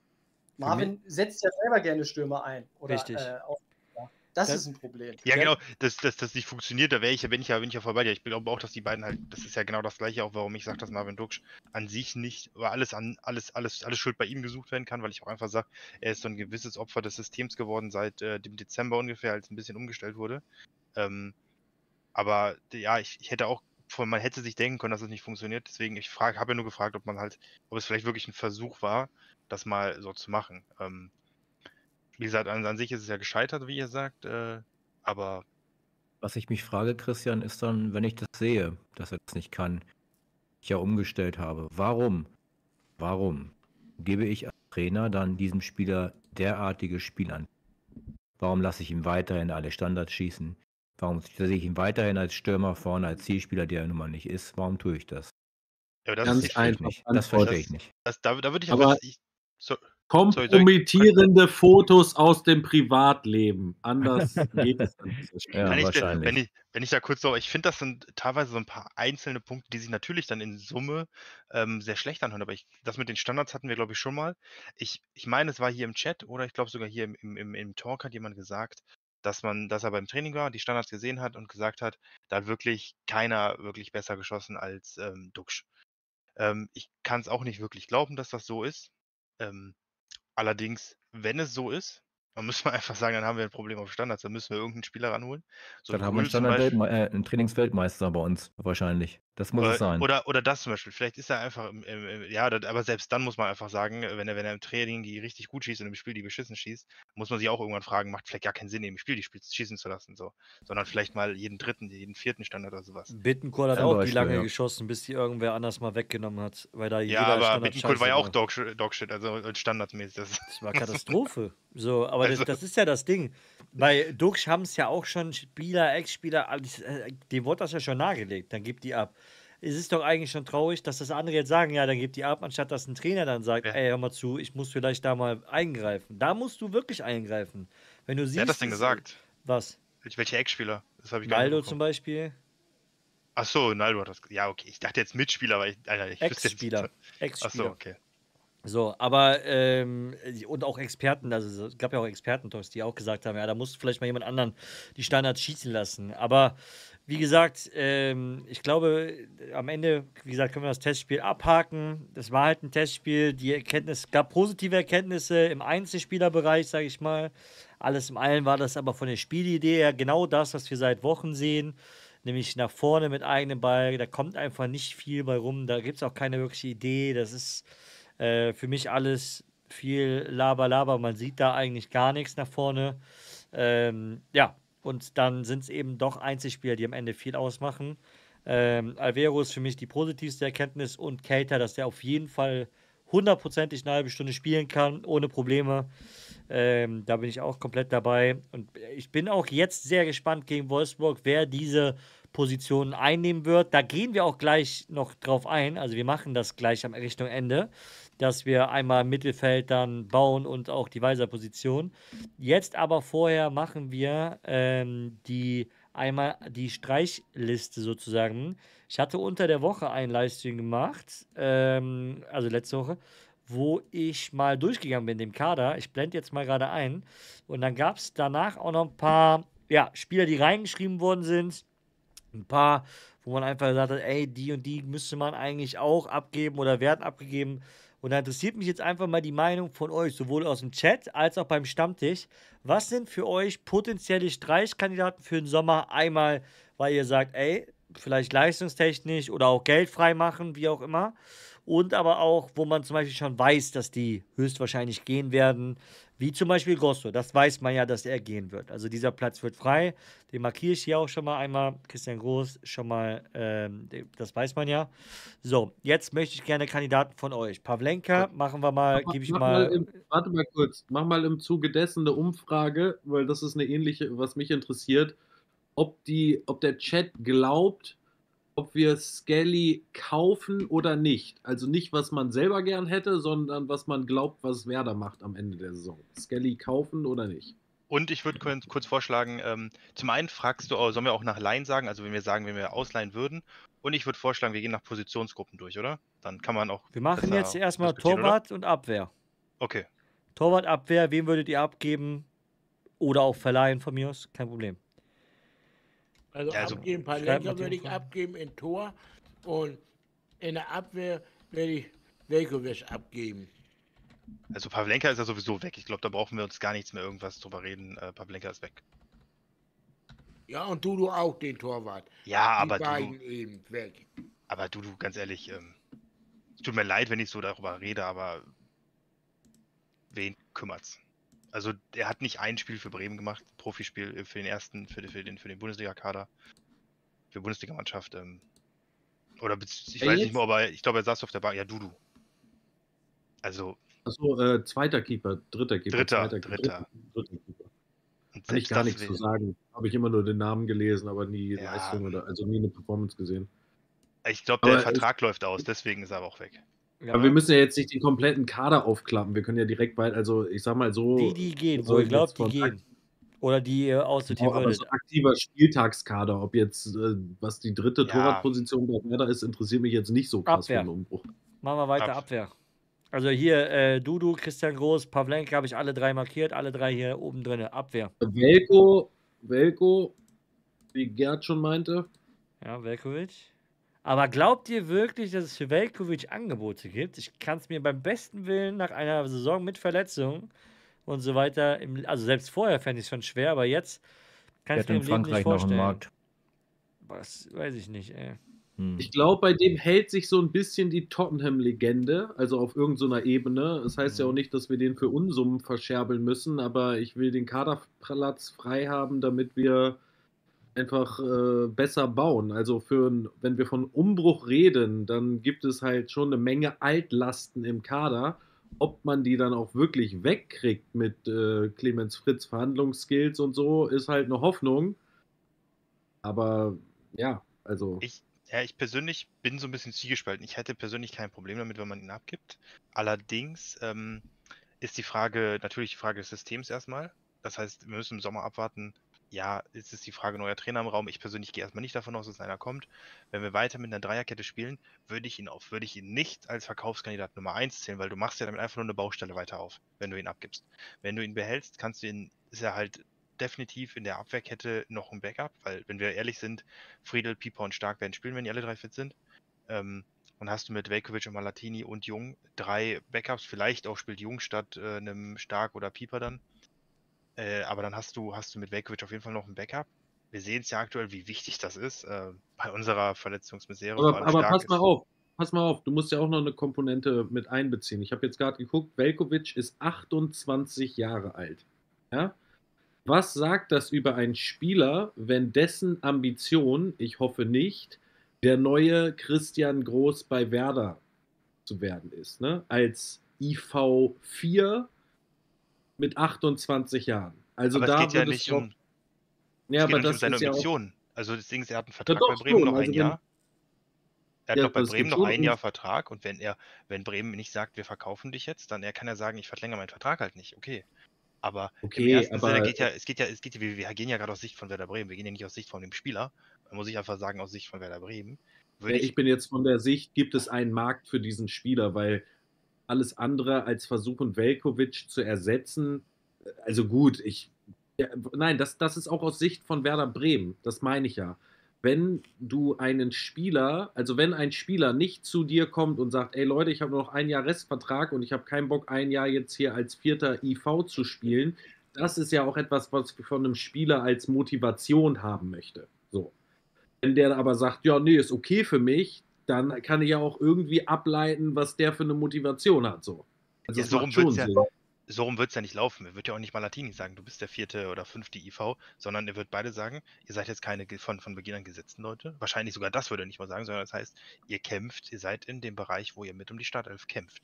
So, und ich sage, wenn Velkovic nachher ähm, leistungstechnisch auf einmal. Bei Werner kämpfen oder Aber- was? Also aber. Leute, jetzt mal, wir machen aber das, das Problem ist ja, wir müssen ja von der Sicht von Bremen ausgehen. Und ich sage ehrlich, du machst ja damit eine Baustelle auf, wenn du von Beginn an sagst, mit der, mit der Intention reingehst, wir geben ihn definitiv ab, aber wir suchen erst nochmal einen Ersatz. Wenn du jetzt sagst, wir haben Ersatz für zwei Millionen, wo wir sagen, der hat Entwicklungspotenzial und der ist jung, hat Entwicklungspotenzial und ist jetzt schon auf fast einem Niveau von Velkovic, wo wir sagen, ähm, den kriegen wir aber auf jeden Fall auf das Niveau von ihm ähm, in, innerhalb eines Jahres und der kann auch in, definitiv mal den, den äh, Backup in der, äh, für eine Innenverteidigung in der Bundesliga machen, ähm, dann würde ich auch sagen, geben wir ihn ab. Aber aktuell machst du dir meines Erachtens nach, und bitte sag mir, also könnt ihr mir gerne sagen, wenn ich ja falsch bin, aber wenn du ihn jetzt abgibst, machst du dir eine Baustelle in der Innenverteidigung auf, wo wir sagen, wir brauchen auch wieder, wieder auf jeden Fall wieder einen neuen Innenverteidiger. Weil Ja, jetzt können ja wir da nicht. einen hochziehen? Weil Nico, also, Nico hat Nee. doch mal gesagt, den von Leipzig. Nee, Hendo.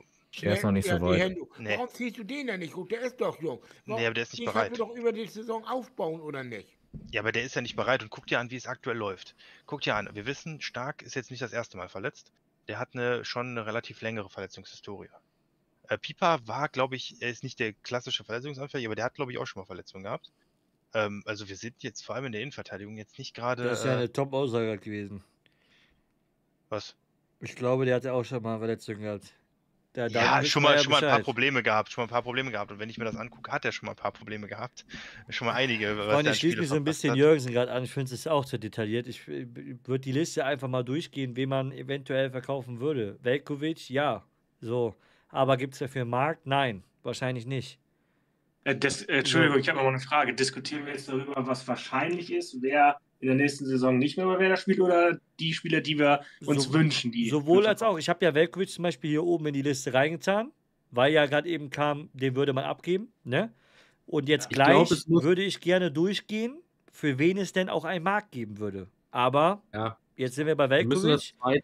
Ja, Velkovic würde man abgeben? Ja. Noch einer aus der Innenverteidigung, den man abgibt? Ich übernehme das jetzt, machen wir das anders. So, wir machen gleich die danke. Positionen einzeln. So, Velkovic würde man abgeben? Ja. Noch einen Verteidiger? So, Weisers Vertrag läuft aus, heißt allein deswegen mache ich den nach oben einmal.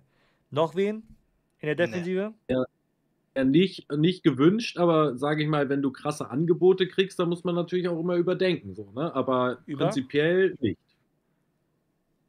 Okay, Ich also, sehe keinen, der ein krasses Angebot also sagen wir mal erstmal nein, ja? Sonst können wir ja gleich immer noch. So, ähm, wir gehen ins Mittelfeld. Äh, Senelinen, ja, nein. Nein. Nee, ist Nein. gerade neu gekommen. Kann mir ja auch nicht vorstellen, auch nicht, dass man ihn wird. Jens Stay, Ein Nein. Fall. Ein Fall. Da sage ich, wenn es. Genau, sage ich nämlich auch. Ich mag den auch hoch. Wenn, aber da können wir dann gleich einzeln drüber reden. Ja, das Problem ist, das Problem ist, dass Jens Stay für mich eigentlich kein Stammspieler ist in der Bestbesetzung, Mhm. aber halt ein unfassbares Arbeitstier und sowas brauchst du halt auch im Kader. Total. Ja, der ist, äh, Das der ist unterschätzt halt, man oft, ja. Das Problem ist, Stay äh, ist für mich Kategorie äh, läuft viel, kämpft viel, Premier League. Äh, wenn da jemand sagt, hier, komm, was kostet der? 6 Millionen Marktwert, hier hast du 10. Dann, Genau, aber das wäre ja so die zweite Sache. Genau, das sind ja ja. jetzt diese Hypothesen. Ne? Also wenn jetzt irgendjemand um die Ecke gesagt und Friedel äh, will, und die geben auch 8 bis 10 für Friedel aus, so musst du sich auch mit beschäftigen. Aber wenn ich es mir, also ich bin auch kein Stay-Fan, ich bin also Mhm. diese Aussage personifizierter Platz 10 bis 14, finde ich Jackpot. Äh, ich finde er ist ein krasse, äh, ein krasser, ähm, wie nennt man das, Steigerung zu Rapp. Aber das ist für mich Ja. gleiche Kategorie. Er ist ein deutlich besserer Rapp. Äh, was wir nicht vergessen, Nico, du sagst jetzt gerade 6 Millionen. Äh, Ende, äh, diese Woche wird noch die Marktwerte aktualisiert. Richtig. Der wird safe Ja. hochgehen auf, denke ich auch, 8 oder auf sowas. 8, ja, Ja. bis ich glaube für 7,5 vielleicht oder sowas. 7,5 Ja. bis 8. Dann, wenn du Glück hast, bietet sogar jemand und der weiter so spielt. Da können wir kann übrigens gleich sogar- auch mal eine kann- Prognose machen, wer den höchsten Marktwert kriegen wird. Kann- Also, ich Kann, ich, kann mir aber vorstellen, dass der auf, äh, dass die, dass der aus der Premier League auch jemand 12 oder sowas zahlt. Und dann musst du einfach sagen, für 12 Ja. loswerden. Ja, auch, auch, ja. auch 10 wird, also oder mit Bonus, so das, wie auch immer. Ja, Ey, Ja, aber alles Nabi- machen wir erst bis mal Stay weiter. Nabi. Navigator glaubt, also da geht es übrigens auch nicht um Verkauf, ne? Manche vertun sich da auch immer mit Verkauf. ja. Wenn Cater gehen würde im Sommer, dann wäre, würde der ablösefrei gehen. Also dann würde man Vertrag auflösen. Darum geht's. Ne? Es geht gar nicht um den Verkauf. Der wird nie und nimmer verkauft. Ich weiß gar nicht, wie man darauf kommt. Also das wäre, es gibt nur eine einzige Situation, wie es zu einem Verkauf geben könnte, in dem Cater selber sagt, okay, scheiß auf Fußball, Saudi-Arabien, ich komme. Ähm, und wer da sagt, huhu, Kassen voll machen. Aber sonst, das Also ist bei- völlig ausgeschlossen aktuell. Bei Cater kann ich es anders beantworten. Wenn Ja. man mir sagt, äh, Cater und Schmied, du kannst nur einen behalten, behalte ich Cater. Okay. Da bin ich, da muss ich sagen, bin ich ein bisschen anderer Seite. Also bei, ähm, ich, äh, also das Ding ist, da Machen wir doch erstmal, wir gehen jetzt schon wieder Cater hoch auf die Liste oder Oh, sorry, nein? sorry. Ich würde ich würd, ich würd ihn hochpacken. Die Frage ist halt, wie er bisher, wie er Okay, weiterspielt. in Cater dem hoch, weiter Saison. geht's. Skelly Alvero. Ja, ich, also wenn wir, wenn wir noch vom jetzigen Zeitpunkt sprechen, würde ich die Kaufoption nicht ziehen. wenn er natürlich ist so weil crazy, gespielt hat. Alter. Velkovic Er hat- als Safe. Okay, warte, aber ich mach schon Alvero hoch, wir reden gleich Aber weil drüber. er halt auch noch nicht Weiter weil er geht's, weiter hat. geht's. Ich sprich, ich muss. Freunde, ihr versteht das Prinzip nicht. Wir gucken jetzt erstmal, wer hochgeht. Ach so. Gleich sprechen wir einzeln über die Leute. Eure, eure. Antworten müssen sein ja, nein. Versteht ihr? Okay, okay, so, okay, okay. Oliver Demann. Nico, der beste Aushilfslehrer. Nein. Nein, nein, Nein. nein, nein. Also, gut. Leon Opitz. Nein. Ja, Nein. Laie. Laie, Laie. Ich mach ihn hoch. Mach Romano Schmid. Alles so Nein. bei Chris Nee. was sagt. Noch nicht. Nein. Bleibt. Äh, Da sage ich ihm Call, ich lasse ihn unten, aber ich sag, Romano Schmid wird safe einen Markt haben, auch vor allen Dingen in Spanien. So, Ja. hundertprozentig. Wenn da ein Angebot kommt, aber das könnte man natürlich über viele sagen, deswegen lasse ich ihn auch Marco unten. Ne? Marin 2.0. Aber ja. Leo Bittencourt. Ganz weit nach oben. Oh ja. Ja, Top, top Ich, one. ich wünsche es mir auch, aber, aber den, aber den, den, den Okay, also Markt hat halt Ich auch nicht. sogar persönlich hin zum Verein. Wahrscheinlich Also wir- das bitte. Was wird das Bei- denn noch runterkorrigiert? den, den will keiner haben. Digga. Den Sind will wir aber doch das gleiche wie bei Velkovic. Es gibt keinen Markt. Ey, das ist. Okay. Äh, ich sag Hansen. Japan da. Hansen sagen wir jetzt mal noch gar nichts. Also Hansen können wir ja 0,0 einschätzen. Warten wir da erstmal eine Vorbereitung überhaupt ab. Deswegen, das macht keinen Sinn. Der hat Jimmer? direkt Vorlage gemacht. Nein. U21. Vergolden, vergolden, mit Gold behängen behalten. Leiden. Ich würde den auch so. äh, Der kann, muss wirklich Vertrag unbedingt noch verlängern. Äh, Duxch. Weg. Ja. Oh Gott, ist nicht, aber ja, ganz Was? Selbst Chris sagt das? Ich glaub's nicht. Der Marvin hat komplett. Hey, ich habe doch niemals gesagt, dass ich, dass ich sage, er ist ein toller, er ist ein Du sagst aber das Gegenteil. Nein. Es, Ah. Weiter geht's. David Kovnatski. Verleihen. Der wird auch gehen. Okay, Ja. machen wir auch hoch. Keine Und. Wolzemar, der Vertrag läuft aus, tun wir auch hoch. So. Jetzt gehen wir einzeln Okay. durch. Also, Du hast einen vergessen. ist mir egal. Ich lasse jetzt so. Christian. Groß. Nein. auch, ey. auch weg. Gerd! Mann! So, Christian. Groß ist weg. Das heißt, das, Ja. den können wir schon mal schließen. Das Thema ist zu. So.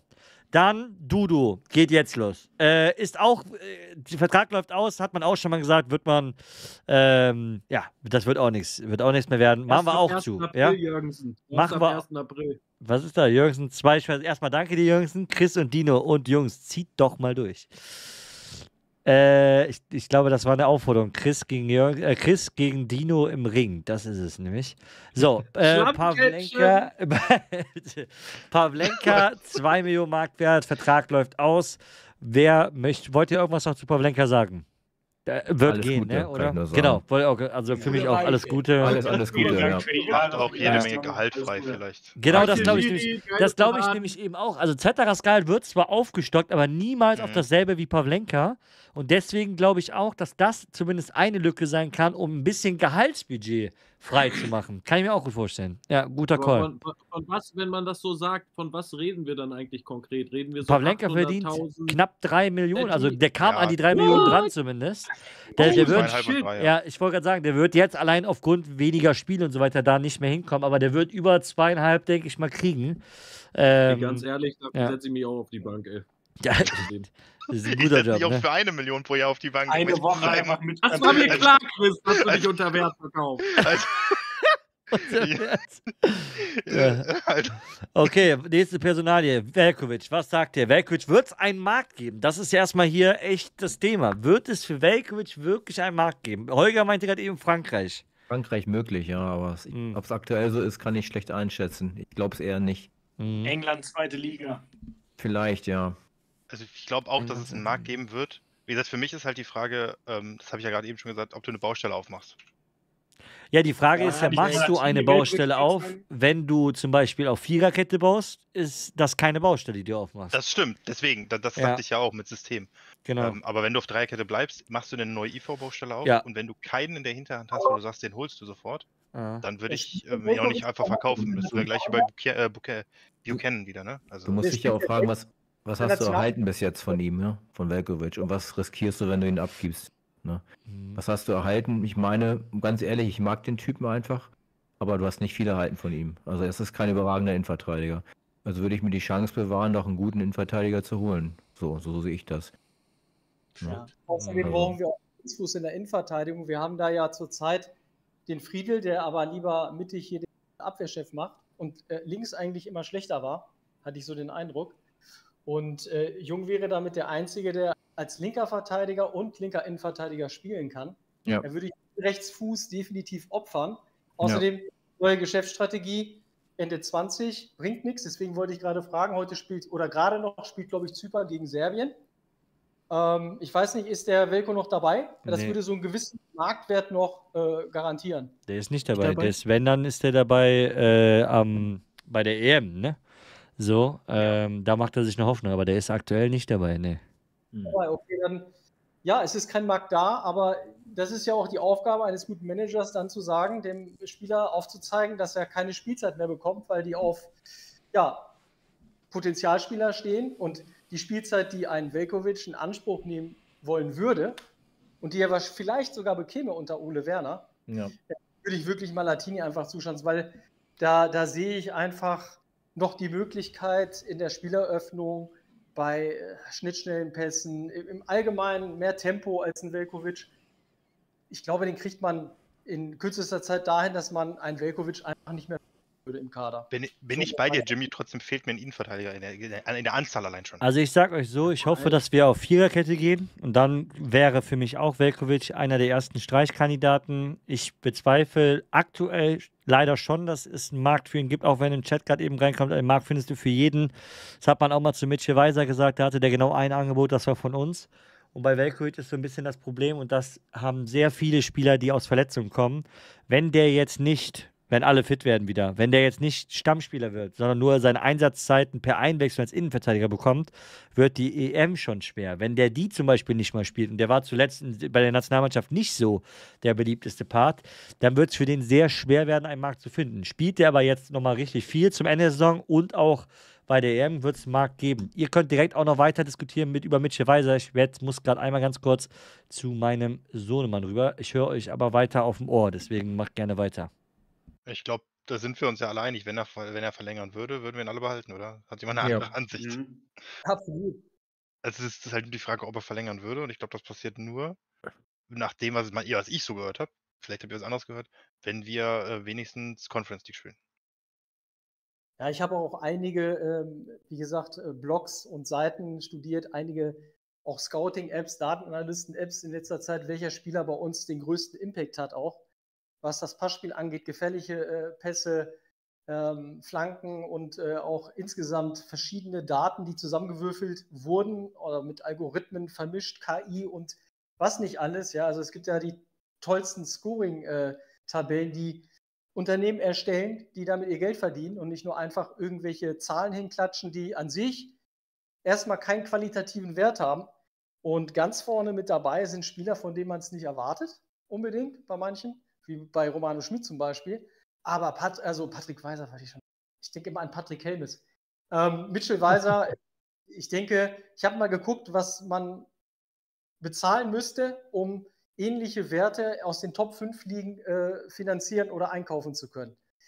Mit Mitte, Ende 20. Also das, also wenn da nicht jemanden äh, einen absoluten äh, Hit landet auf dieser Position, rechte Schiene oder rechter Flügel oder was auch immer, rechter Außenverteidiger, dann wird es richtig teuer. Also es wird richtig teuer, die Qualitäten von äh, Mitchell Weiser Hm, hallo? Ist er bei euch auch weg? Weg, zack, weg Ja, war. Okay, also? Mitch hat übers Mic ab.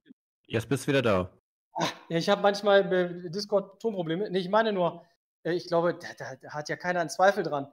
Also ich hätte Mitchell Weiser sogar mitgenommen äh, zur WM auf der rechten Seite, aber äh, ich denke mal, Nagelsmann hat da jetzt eine Lösung gefunden, wie er steht.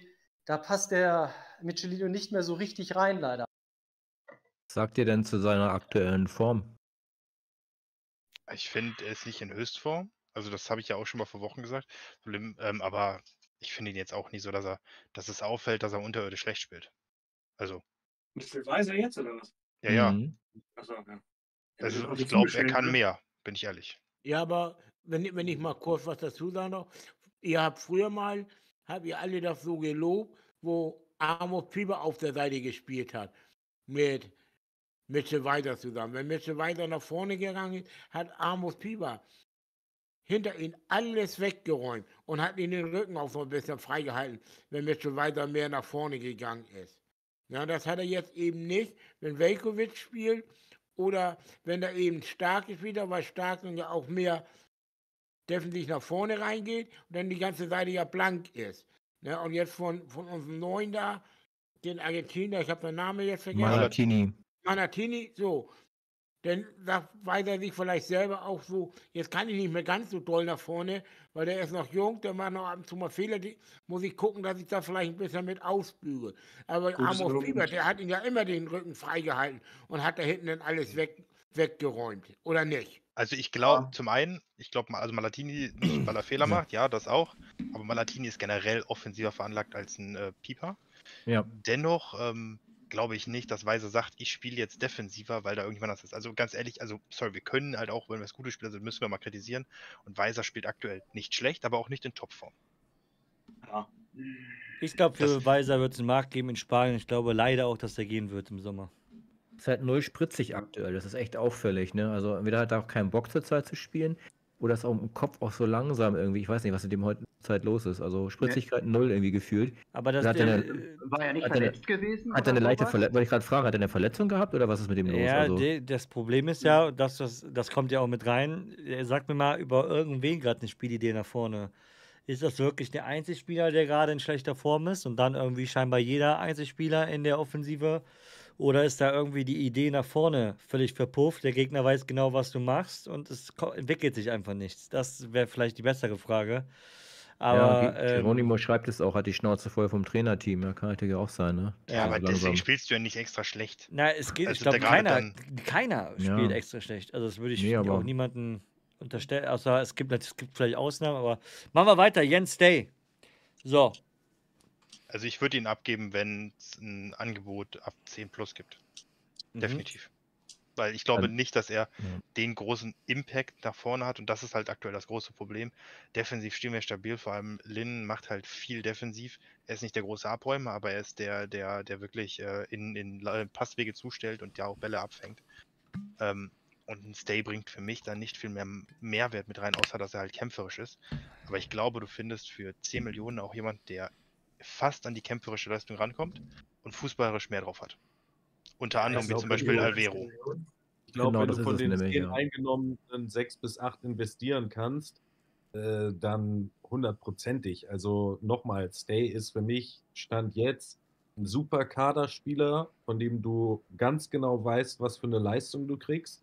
Und wenn du eine Rotation spielst und flexibel Leute einsetzen kannst, ist das, wie gerade genannt, eine super Kaderergänzung. Für 10 Millionen traue ich Jans definitiv zu, also wir reden hier, dass Skelly 6 kosten soll, ja. Und ich habe, ich bin richtig geschockt, dass ganz viele im Chat denken, dass der nicht gekauft wird.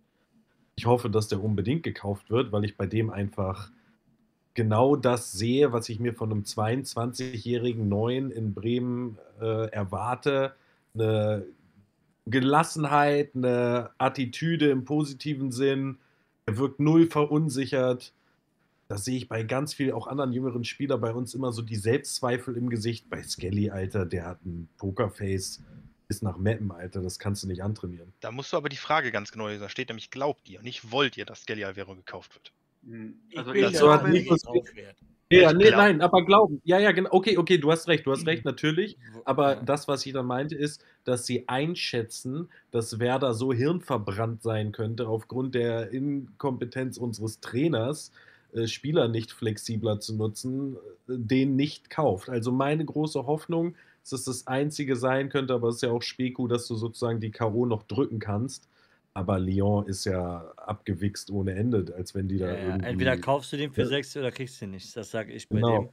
Aber ich sag euch da, ähm, wenn Stay 10 bringen würde in diesem Rahmen, dann ist für mich der Nachfolger, muss eigentlich direkt Skelly für 6 sein, weil da einfach extrem viel Potenzial ist und du dem Team diese Position dann geben würdest. Aber ja, das, der wird auf jeden Fall Markt haben. Also Skelly wird, äh, Quatsch, Skelly, ähm, Skelly auch, aber Stay Ja, wird mit Sicherheit einen Markt äh, haben, gerade in England. Nabi Keita. ja, für mich halt ganz große Frage, wie viel spielt, spielt er noch in der Rückrunde? Ähm, und auch die Zusatzfrage direkt, wie viel spielt er noch? Ähm, also wie viel könnte er spielen? Sag mal, wie viel könnte er spielen, Ähm, weil wenn er jetzt, weil wenn er sich so wie beim nächsten Spiel wieder verletzt und komplett bis zum Mhm. Saisonende raus ist, ganz ehrlich, dann lohnt es sich nicht. Dafür verdient er zu viel, um ihn dann noch weiter zu behalten. Ich glaube allerdings auch, weil es gab ja dieses Gespräch jetzt letztens mit äh, dem Berater, wo man da rausging und sagt, man, man Vertragsauflösung ist keine Option. Ja, Vertragsauflösung ist keine Option, weil er wahrscheinlich äh, den Vertrag nicht auflösen will. Weil er Mhm. weiß, wenn er jetzt woanders unterschreiben würde, er wahrscheinlich nicht nochmal das Geld bekommen. Außer er geht irgendwo nach Saudi-Arabien. Also ich hoffe auch, dass er bleibt. Ich glaube aber im Sommer, das war's. Mhm. Ja, aber das Problem ist, wenn du Vertragsauflösung machst und dich nicht einigen kannst, muss Bremen ihn komplett ausbezahlen quasi. Das Ja, wird nicht genau. passieren. Ja, das kannst du dir, das Also kann ich Bremen würde ihn leisten. abgeben, ne, weil, weil ich habe so langsam das Gefühl, dass der so langsam auf die Sportinvalidität geht. Ne, weil ich glaube nicht mehr, dass der nochmal zu 50 oder 60 Prozent an seine Leistung rankommt. Dafür war er einfach zu oft, zu schwer verletzt und ich glaube auch nicht mehr, dass das noch seine Knochen noch mitmachen, obwohl er erst, glaube ich, 28 oder so, aber da gibt es ja mehrere Beispiele, eben, die so verletzungsanfällig sind, dass die eben mit 27, 28 Karriereende machen müssen. Und das Gefühl habe ich eben bei Kate auch, dass der da einfach nicht mehr hinkommt, weil eben seine Knochen eigentlich schon so auf sind wie ein 34-Jähriger, weil der einfach zu verletzungsanfällig ist. Auch die Psyche bei ihm, ich glaube, der Kopf will einfach nicht mehr. Der hat das Zutrauen nicht mehr in seine, in diese, in diese Ja. Bewegung, die er immer, die, er, die immer ausgemacht haben, diese schnellen, knackigen Bewegungen. Ich habe das Gefühl, er ist ständig gehemmt. Immer Ja, wenn er dahin, ja. immer wenn er dahin kommen kann, diese Bewegung zu kommen oder zu gehen, dann, dann blockt er dann, dann läuft er wieder sein Einheitstempo und löst es irgendwie anders. Das ist traurig, das zu sehen, dass sich das mal ausgemacht hat eigentlich und genau das kann er nicht zeigen. Ne? Das ähm, ist hart zu ertragen gerade, auch für mich. Also Ich habe den Eindruck, er könnte jetzt an dem Moment sein, was wir aus der Doku von Christian Groß kennen, also auf der Werder-Doku von Christian Groß kennen, wo es hieß, wenn das jetzt eine große Verletzung ist, war es das für mich. Äh, mental. In ja, denke ich auch. Könnte ja. ich mir vorstellen. Ähm, ja. Aber wie gesagt, für mich ist es stark abhängig, wie viel er spielen kann, wie viel er spielt. Und dann natürlich auch, wenn, wenn er nicht, logischerweise, wenn er nicht viel spielt, obwohl er spielen könnte, ist natürlich auch leistungsbezogen, dass er dann wahrscheinlich nicht spielt. So, und dann macht keinen Sinn, ihn. Also ich glaube, so dass es bei Kate dann eine Vertragsklausel gibt, äh, dass er auch so und so viele Spiele äh, machen muss, in Anführungszeichen. Er hat einen leistungsbezogenen, äh, leistungsbezogenen Vertrag. Wenn er nicht spielt, verdient er auch so nicht viel Geld. Also auch er wäre dann, glaube ich, ähm, sehr wohl schon dafür, auch den Vertrag aufzulösen. Nicht ohne Grund kommt ein Berater dahin. Das äh, ist nicht, weil der Verein eventuell auflösen will ähm, dass die dann erstmal den Berater kommen lassen und sagen, ja gut, schauen wir mal. Ähm, ich glaube, dass bei Navigator man jetzt sehr, sehr genau hinschauen wird, wie der Rest der Saison läuft. Kriegt er mehr Spiele und beißt sich nochmal rein, was ich sehr hoffe. Dann wird er auch bei Werder bleiben, hat dann eine ganze Vorbereitung und dann muss man mal schauen, wie es läuft. So, und dann hoffe ich, dass er mit absoluten Top-Motivation in die neue Saison geht ist es so, dass er äh, leider kaum zum Zuge kommt, dann kann ich mir vorstellen, wird es auch in seinem Interesse sein, den Vertrag aufzulösen und dann ablösefrei nochmal wechseln zu können. Und dann ist vielleicht sogar ja, ähm, Länder, die einfach viel Gehalt zahlen, Thema. Wir springen weiter zu Skelly Alvero, wo wir ja gerade eben schon mal kurz angerissen haben, bei einem äh, Verkauf zum Beispiel von Stay, aber kann ja auch sein, dass es nicht der Fall ist. Wie seht ihr das aktuell? Also einfach mal, was ihr wollen würdet und was ihr glaubt bei Skelly Alvero. Sechs Ah. Millionen ist die Kaufoption. Ja, also ich würde ihn gerne äh, natürlich kaufen, dass er bei uns bleibt. Glaub aber, dass die Kaufoption tatsächlich nicht gezogen werden äh, wird, weil ich einfach das Problem sehe, äh, dass er bisher kaum Spielzeit erhalten hat. Und es sind nur noch acht Partien, acht Spiele. Die Zeit ist extrem begrenzt, um zu zeigen, was er noch drauf hat. Und vergessen wir auch nicht, gegen Wolfsburg ist die Wahrscheinlichkeit zwar groß, dass er spielen wird, aber auch nur, weil wir drei Gelbsperren haben. Und ich glaube, wenn er eine gute Leistung zeigt, aber keine überragende, dann wird er wieder zurück auf die Bank wandern, wenn die Gelbsperren wieder zurück sind. Die einzige Chance, dass er äh, noch weitere Einsätze bekommt in der Startelf wäre meiner Meinung nach nur, wenn er eine überragende Leistung zeigen wird, wo er vielleicht sogar Spieler des Spiels werden wird, dann äh, kann ich sehen, dass er mehr Spielzeit erhalten wird und dadurch die Chance äh, groß sein wird, dass wir doch ihn kaufen werden. Aber Stand jetzt sehe ich wirklich die Gefahren, dass er nur gegen Wolfsburg in der Startelf steht und danach kommt er nur noch auf Joker-Einsätze und dann wird man sagen, man hat ihn nicht viel äh, spielen äh, äh gesehen und dadurch äh, kann man die Kaufoption nicht ziehen. Ich traue Werder und Werner schon dazu, ein Talent wieder komplett zu vergolden, ehrlich gesagt. Also wenn Ich die würde ihn Spielzeit auch gerne kaufen, aber ich, ich weiß, bin auch mir nicht hundertprozentig sicher, dass der gegen Wolfsburg in der Startelf steht. Ich traue Ole Werner das auch zu, dass er auf der 6 mit Christian Groß und Leonardo spielen würde. Dass er die beiden vielleicht setzt, weil die, weil er dann wieder mit seiner Aussage kommt, die kennen, kennen die Abläufe, die kennt Alvaro noch nicht so. Ja. Ne? Also setze ich den später rein, weil da kann ich Ole, das traue ich Ole Werner leider auch zu. Ne? Und dass wir den Ende der Saison nicht kaufen, weil er eben das nicht geschafft hat, das zum zeigen, was er kann. Ne? Obwohl ich ihn super gerne kaufen würde, weil ich auch das glaube, das, was Nico schon mal gesagt hat im Video, wenn der bei uns das schaffen würde jetzt in der letzten Zeit, Stammspieler zu werden und wir den kaufen, dann wird, wird in der nächsten Saison, der das Stammspieler, der wird sein Marktwert aber ganz schnell über, weit über die 10 Millionen gehen. Ja, kommt drauf drauf an. Also da muss ich mal kurz sagen, ich persönlich ähm, würde nach dem, wie es aktuell läuft, also bis wenn, wenn ich heute die Entscheidung treffen müsste, würde ich die nicht ziehen. Einfach weil wir viel zu wenig von ihm gesehen haben. Ähm, und das Problem ist einfach, ich glaube, es wäre Wahnsinn, wenn er nicht spielt gegen Wolfsburg. Aber ich glaube, wo er spielt, ist auch ganz entscheidend. Und das wird ziemlich sicher, bin ich mir also nach dem Testspiel sicher auf der 6 sein. Und ich glaube, da wird er dann, egal, also wenn er nicht wirklich eine, eine Leistung abreißt, wo er, wo er, wo er, wo er ähm, Chancen hätte, in den französischen Nationalkader zu kommen, äh, würde er wahrscheinlich ähm, auch von Linnen wieder verdrängt werden. Was ich in dem Fall jetzt auch nicht schlecht finde, wobei ich Skelly halt lieber auf der 8 sehen würde und von mir aus Stay dann auf die 6. Ähm, und das Problem ist einfach, du gibst keine 6 Millionen aus für einen Spieler, den du kaum gesehen hast, eventuell. Ähm, plus, die also kaum in deinem Spiel hattest nach einer Leihe, plus ähm, der halt, äh, wo du einfach einen Linnen hast, der aktuell für mich auch, ähm, ja, nicht 100% unumstritten ist, weil dafür ist er auch nicht der, der Überragende, aber ich finde schon einer der gesetzteren Stammspieler ist aktuell. Ähm, deswegen würde Aber ich du siehst die doch, 6 dass auf jeden Fall gerade nicht ziehen, die Option.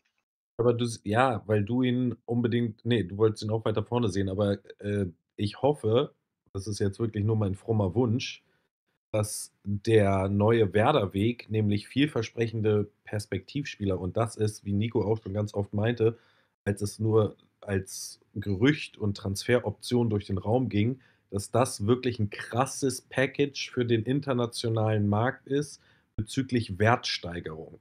Und manchmal musst du halt auch Invest tätigen, um dann, also natürlich sehe ich das Werder Bremen der letzten zehn Jahre nicht so spekulativ umgehen, aber ey, ich fände es, ich also da müssten sie mir schon einige krasse andere Optionen präsentieren, aus dem Stand gekauft, die bei mir mehr Hoffnung wecken als Skelly in der, in der Region.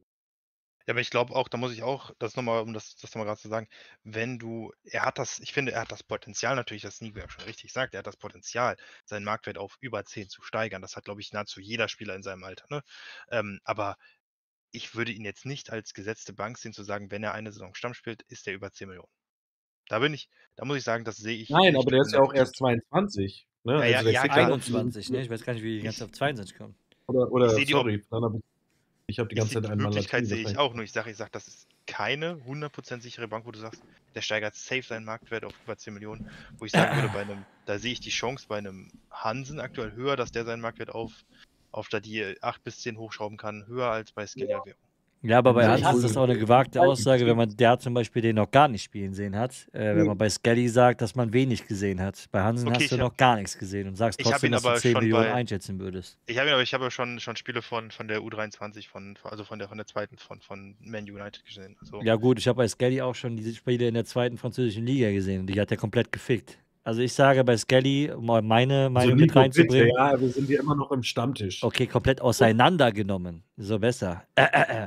Ähm, ich sage, Skelly Alvero wird gekauft und ich sage auch, äh, ich, also was ich wollen würde, wäre auch genau das, dass er eben gekauft wird. Ähm, und ich glaube auch, dass man trotzdem diese 6 Millionen zahlen muss. Äh, ich fand auch die Aussagen zuletzt bei der PK, ähm, letzte Woche war es ja, wo man über Skelly geredet hat, das hat sich schon sehr schwer nach Kaufen angehört, für mich. Äh, auch so von Clemens Fritz, äh, der Seiten auch, dass man jetzt die Gespräche aufnehmen will und so weiter. Äh, die Trainingseindrücke sind ja, die sind ja auch nicht blind. Also dann, das müsste schon selten dämlich sein, wenn man da das nicht, nicht sieht, auch beim Training. Wäre zum ersten Ähm, Mal so, oder? Ja, ja, äh, ja, gut, das ist äh, leider ein anderes Thema, aber Skelly ist da wirklich, äh, der, der brecht da so raus, auch beim Training, wie gesagt, ich habe mir das sehr genossen auch anzugucken und ich, der wird auch 100 Millionen prozentig gegen Wolfsburg jetzt in der Startelf sein ähm, Ja. und ich hoffe, das ist so die Hoffnung, die hier, sag ich mal, mit reinspielt, ich hoffe einfach, dass Skelly selber diese Chance so nutzt, dass er dann eben gar nicht mehr raus aus der Startelf genommen werden kann. Weil da ist natürlich dann das Riesenthema, wenn Skelly ein Wahnsinnsspiel gegen Wolfsburg macht, wir das Ding holen und der dann auf die Bank geht, dann darfst du ja auch im Management nicht den Fehler bei Alvero suchen, sondern dann musst du den ja trotzdem holen, auch wenn dann der Trainer in dem Moment anders entscheidet, weil, wie gesagt, auch die sind ja nicht blind, die sind ja auch im Stadion. Deswegen,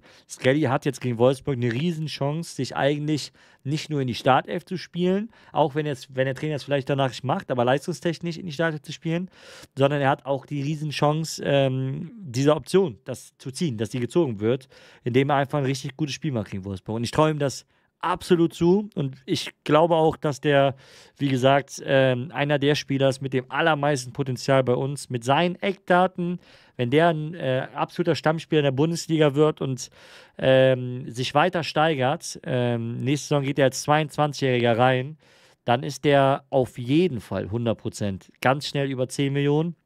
Und dann reden wir eher über 20 Millionen plus bei seinen Eckdaten. Wie gesagt, ich vergleiche da sehr, sehr gerne auch mal Maxi Eggestein in seinem äh, ersten Jahren bei Werder und dann den enormen Preisanstieg äh, durch eine halbwegs gute Saison von Werder und eine gute Saison von ihm. Wenn Skelly da einen ähnlichen Weg einnehmen kann, dann ist der hundertprozentig über 20 Millionen mit seinen 2,2 Meter, zwei, seinen körperlichen Voraussetzungen wert. Ähm, und dann wird es sehr interessant, ähm, was der uns vielleicht sogar bringt, aber im Idealfall erstmal lange noch bei Werder. Wir waren aber jetzt lange bei Skelly, deswegen machen wir erstmal weiter. Leon noch Opitz. einen Abschlusssatz, kurz Also- sorry zum, zum Sagen, einen Abschlusssatz. Ähm, für mich ist halt äh, beim Spiel jetzt am äh, Samstag, glaube ich, äh, wenn ich richtig im Kopf habe, die Samstag, ja. Frage, ob er halt auf der 6 oder auf der 8 spielt. Und wenn er auf der Es 6 gibt, spielt, glaube ich, nur eine 6. Ich glaube, wir spielen Doppel-6. Also Doppel-6 und so, dann okay. 3-4-3. Dann- Ich glaube, er könnte nämlich, wenn Romano Schmid mit ihm zusammenspielt, könnte er da wirklich ähm, diesen, dieser, diese, diese Schnittstelle sein, die, die, die Stay nie sein konnte. Äh, Ich glaube, dass Romano auch spielt. Also Romano Ja, ich glaube, wird zusammen linker Schnittstelle. wahrscheinlich. Ja. Ich denke mal, dass Leo spielt, Romano und Skelly. So, und offensiv aber dann halt Romano links, rechts ein Jimmer, vorne drin ein Duxch. Ich glaube, Leo spielt nicht, ich Romano glaube, Stay Lieblich. spielt. Stay ist Oder Stay gesperrt. Achso, Stay war der gesperrt. Sorry, ich hatte gerade falsch im Kopf. Okay, ja, ja, der stimmt. muss das Mittelfeld so oder so neu bauen. Deswegen wird Leo, Alvero und Romano, im, denke ich. Aber wie gesagt, sehen wir dann. Anders geht's ja kaum. Ähm, Opitz. verleihen. Behalten. Ich würde ihn auf jeden Fall behalten. behalten. Das ist unser Juwel, den darfst du nicht anderswo reinwachsen lassen und dann, damit er auf die Idee kommt vielleicht oder die dann auf die Idee kommen, oh, den äh, ziehen wir da mal ab. Das, den müssen wir unbedingt halten. Also Mhm. den dürfen wir nicht abgeben. Aber der große Unterschied ist, den wir jetzt, glaube ich, bei Dingchi haben, äh, äh, wo wir jetzt die Angst haben, dass dann jemand die Kaufoption zieht. Dingchi ist halt vier Jahre älter und wurde verliehen. Er ist noch 18. Ich glaube, er, im ein Jahr zweite Liga oder dritte Liga vielleicht sogar, könnte ihm, vor allem, ja, ich glaube eher zweite Liga, könnte ihm verdammt gut tun. Ähm, und wenn er dann zurückkommt, dass du dann sagst, jetzt kann man ihn reinwerfen, weil die Konkurrenz, die nächstes Jahr wartet, ist jetzt auch nicht kleiner geworden durch die schon, schon, schon fixen Transfers oder Gerüchte, die auch noch dazukommen. Ja, aber dann hat es nachher wieder vielleicht, dass, dass er dann sagt, so, jetzt bin ich da als Stammspieler in, das, in der zweiten Bundesliga oder was, wenn der angenommen nach Hertha geht oder zum anderen guten Verein, die da um, um Aufstieg spielen zur ersten Liga, so, und der sagt, ach, bei Ole Werner habe ich nie eine Chance gekriegt, ne, dann, dann bleibe ich lieber hier. Hier kann ich mich weiterentwickeln, hier kann ich ein, zwei Jahre, bin ich dann hier Stammspieler, ne, und wenn ich weiterhin solche Top-Leistungen bringe in, in, in der Mannschaft, dann kommt vielleicht auch mal ein richtig guter Verein, der noch größer ist wie Werder Bremen, dass ich dann dahin wechseln kann. Und dann haben wir wieder ein gutes Talent ver, verjubelt. Ja, aber Mal eine- erstens, wir ich hab- kennen jetzt gerade nicht, ob das- das ein. Sorry. Chris, ich habe nee, ich habe mal eine Frage an dich. Vielleicht weißt du das ja. Wärst du auf den Geistesblitz gekommen, dass man ein Dingshi mit Kaufoption verleiht? Ja, okay, das ist halt absolut dumm. Das ist Wer war denn das? Ja, ganz Weißt ehrlich, keine Ahnung. Nö. Also fragst mich jetzt also auch ironisch Ich, oder mal nee, nee, er hat mal jetzt keine, gemeint. keine Ahnung. Also das ist, deswegen, das, das wollte ich auch gerade sagen. Also ich, wenn Leon Opitz eine Kaufoption von Millionen hat, ne? Also ganz ehrlich, dann, äh, Dann, das, das ist, also bitte, dann, dann reden wir hier von, dann reden wir hier von, von, von eklatanten Managementfehlern. Aber, Ja, aber- aber- ich glaube, aber wir haben ganz gerade die äh, Angst bei der Verleihe von Opitz, dass es halt zu Dingchi werden könnte, so ein gleiches Ding. Das, Aber das bei Ding der, bei, der. Ding, bei, der, bei der AK für Ding, Dingshi, Dingshi ähm, ja, ja, Was? war das denn? Ich glaube ich glaub Äh, einfach, Und da Nikos, Krankheit gehabt acht, hat. Alter, Kann man schon mal von Nico angesteckt werden, Ja. ich sag's euch. Ja, so, jetzt schiebt es auf mich rüber, ist okay, kein Problem. Ja. Natürlich! Alter, alter Verteidigertrick. Ähm, nee, das, äh, wo, wo, was wollte ich sagen? Ach so, zu den 5 Millionen von Dinci. Ist, hätte man, hätte denn ernsthaft jemand von euch gesagt, hätte uns jetzt nicht, hätte uns Heidenheim direkt ein, oder irgendeiner direkt ein Angebot gemacht, vor dieser Heidenheim-Saison 5 Millionen für Dinci, weiß ich nicht, ob da viele von uns ganz laut Nein auf keinsten geschrieben hätten. Also ich sag so, 5 Millionen vor der Saison hätten wahrscheinlich 90% angenommen für Dinci. Äh, ich persönlich auch. Sag aber jetzt auch folgendes: Bei einer Laie, was, was ich einen riesen Unterschied finde, ist, wenn du jemanden verleihst, dann musst du das vorher besprechen mit dieser ähm, Ausstiegsklausel, weil, und jetzt kommt's, wenn du irgendwas in den Spieler siehst, jeder Bundesligaspieler, der einigermaßen spielt, kriegt einen Marktwert von 5 Millionen. Also jeder Bundesligaspieler, der nur halbwegs funktioniert in der Bundesliga, wird auf 5 Millionen Marktwert gehen. Das heißt, dass diese 5 Millionen Klausel für Dinci äh, sehr, sehr gering ist. Das wusste man auch vorher. Wenn man aber natürlich jetzt ein Angebot bekommen hat, wo er bei der Laie war, wo er Marktwert von 2 Millionen hatte und bei uns so gut wie gar nicht gespielt hat, auch verletzt war ohne Ende, und man hätte dann 5 Millionen angeboten bekommen, dann hätte ich auch gesagt, ja, nehme ich an. Aber ich hätte ihn nicht ausgeliehen mit was? so einer 5 Millionen Klausel. Aber das, Aber was ja was- auch aber- dazu, darf ich noch einen letzten Satz, dann bin ich auch, sorry, dann bin ich auch still, weil ich noch leider auch gehen muss. Ähm, was, glaube ich, gerade im Chat falsch steht, ist nämlich Kaufoption. Es ist meines Wissens nach keine Kaufoption, Das ist keine Kaufoption, das ist eine Ausstiegsklausel, die generell drin ist. Ja, genau, Das heißt, richtig. Das, das heißt, äh, das heißt, Heidenheim hat- hätte auch so Interesse gehabt. Ja, Ähm, ja. Aber ich glaube, bei der Laie, du willst ja bei einer Laie, Ziel einer Laie ist ja, dass du dich verbesserst. Und Ja, dann ja, aber ne- im. Idealfall, ich wollte gerade sagen, aber im Idealfall dann nicht für die Ausstiegsklausel gehst, Genau, sondern. genau, ne? das ist es. Ja, aber dann, aber dann, Ja. dann kann ich mir das ja wirklich nur so erklären, wenn man dann jetzt ernsthaft einen Grund sucht. Schönen Abend. Dinci Ciao, ciao, Genau, Chris, du hast Chris. verpasst. Haha. Mach's gut. Also, aber wie soll man sich das dann, dann erklären, dass die eingebaut wird für 5 Mille? Weil, wenn du rein jetzt markt- oder äh, wirtschaftlich, handelsstrategisch vorgehst, würdest du es ja niemals machen. Und Dinchis Verhandlungsposition ist ja jetzt auch nicht die krasseste. Für Ja, pass auf, das sich so Totschlagargument bei dieser Geschichte ist, und das ist jedes Mal bei allen Ausstiegsklauseln so, ähm, das, ist, das wird auch jedes Mal genannt, ja, sonst hättest du diesen Spieler vielleicht gar nicht verlängern können, sonst wäre er vorher schon weg. Deswegen die niedrige Ausstiegsklausel. So, ja, aber das das, meine ich halt mit der, das meine ich halt, ja, aber ich weiß, Mhm. aber das meine ich halt mit der Verhandlungsposition bei Dinci.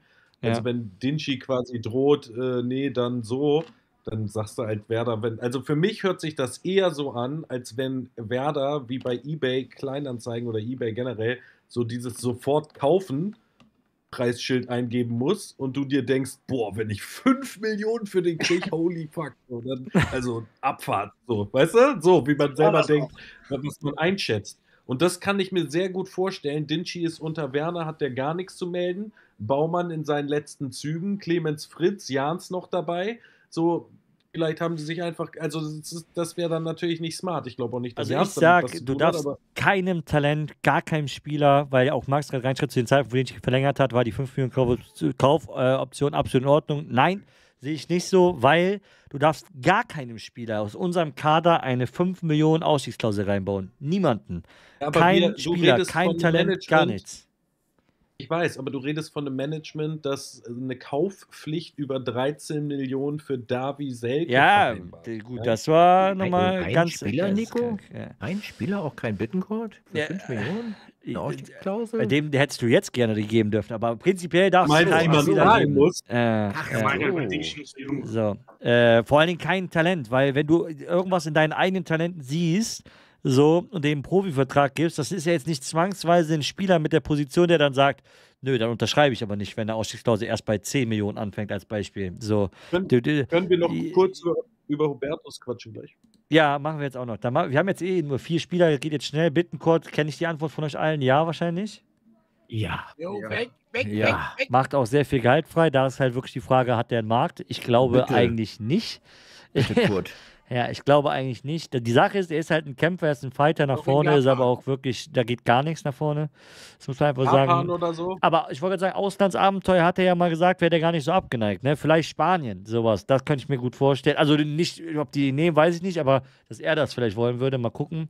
Äh, auf jeden Fall einer der Topverdiener. Ne? Verkauf, wieder knall ich mir rein. Ja, also das kein- Mallorca. So, ja, da muss man echt, also die Sache ist, ich würde es relativ wenig verstehen, wenn man einen der Top-Gehälter halten würde im Sommer mit dieser Neuausrichtung, die man gehen will. Das wäre schon sehr, sehr komisch. Aber gut, machen wir weiter. Äh, Marvin Duksch, Ausstiegsklausel unter 9 Millionen.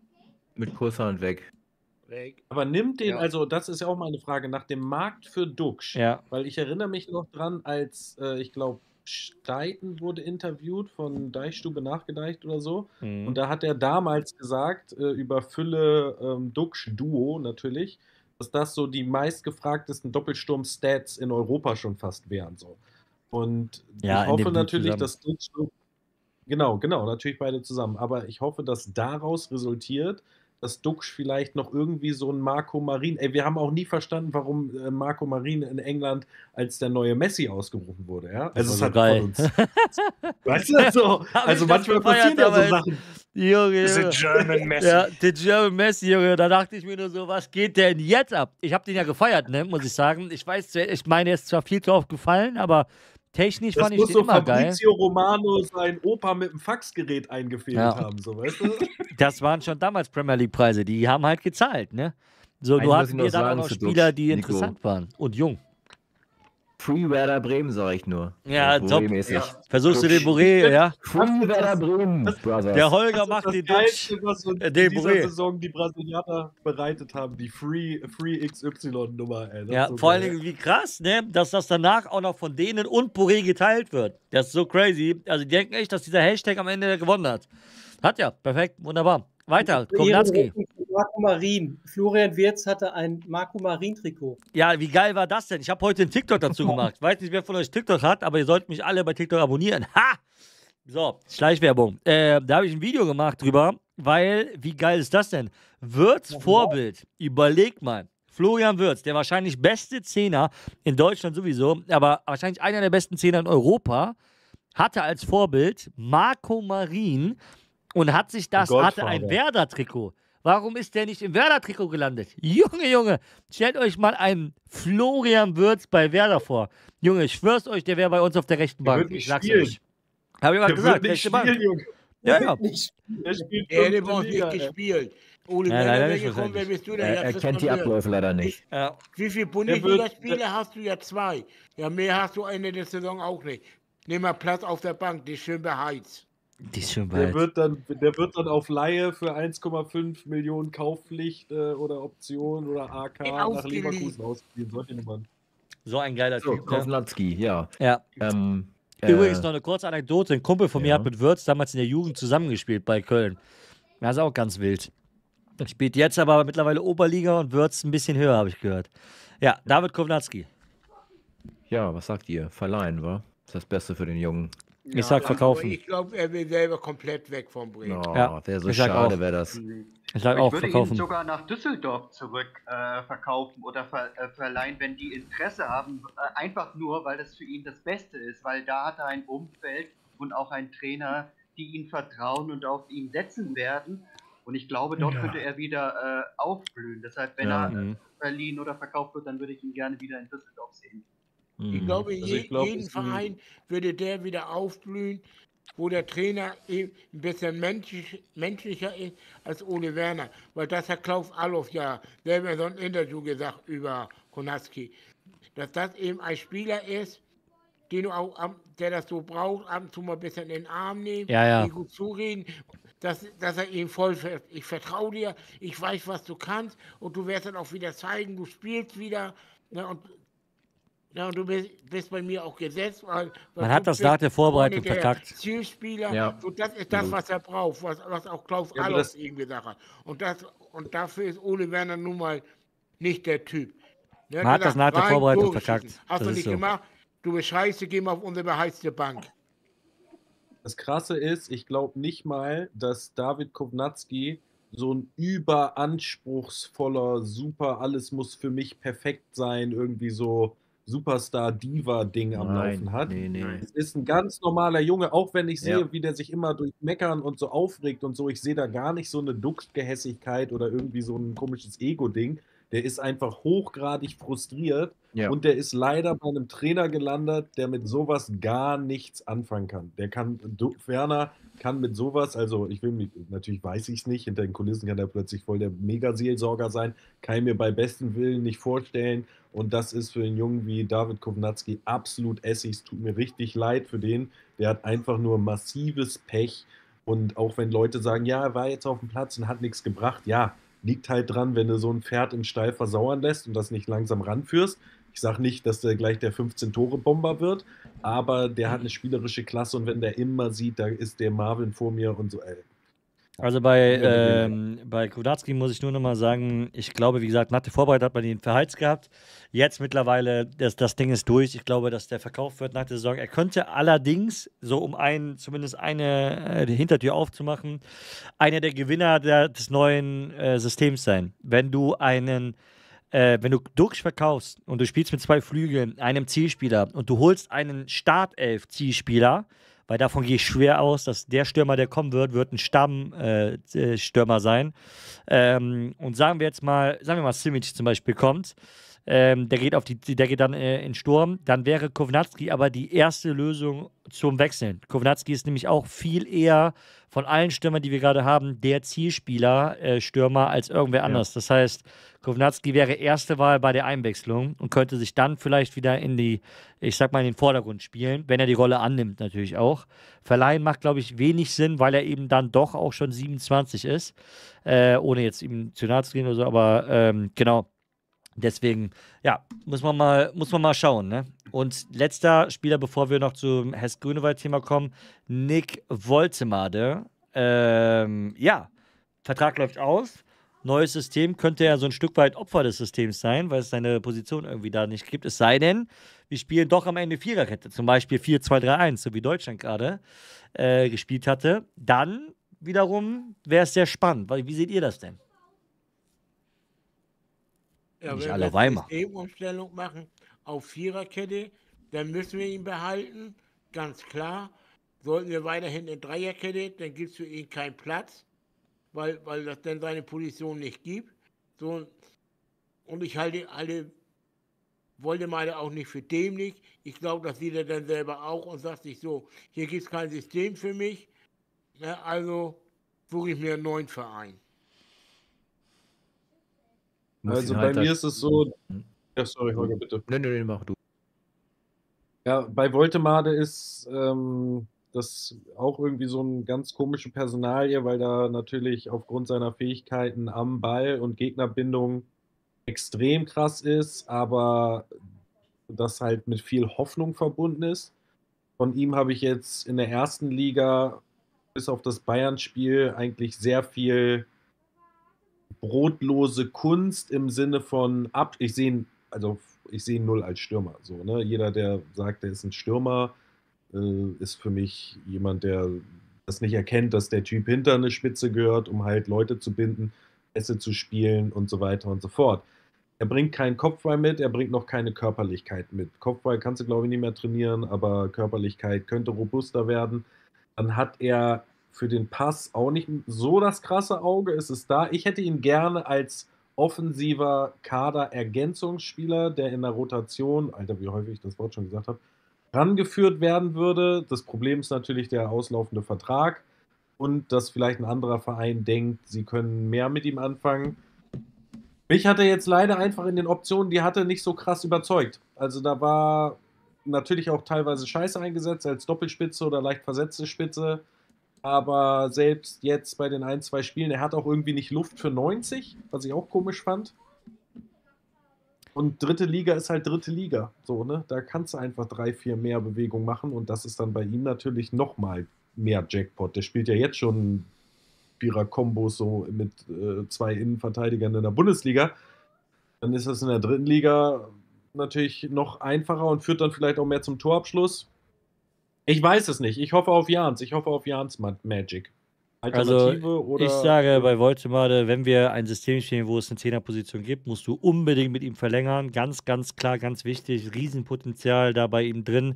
Muss dann aber auch eben auf ihn setzen, also dem da auch wesentlich mehr Spielzeit geben.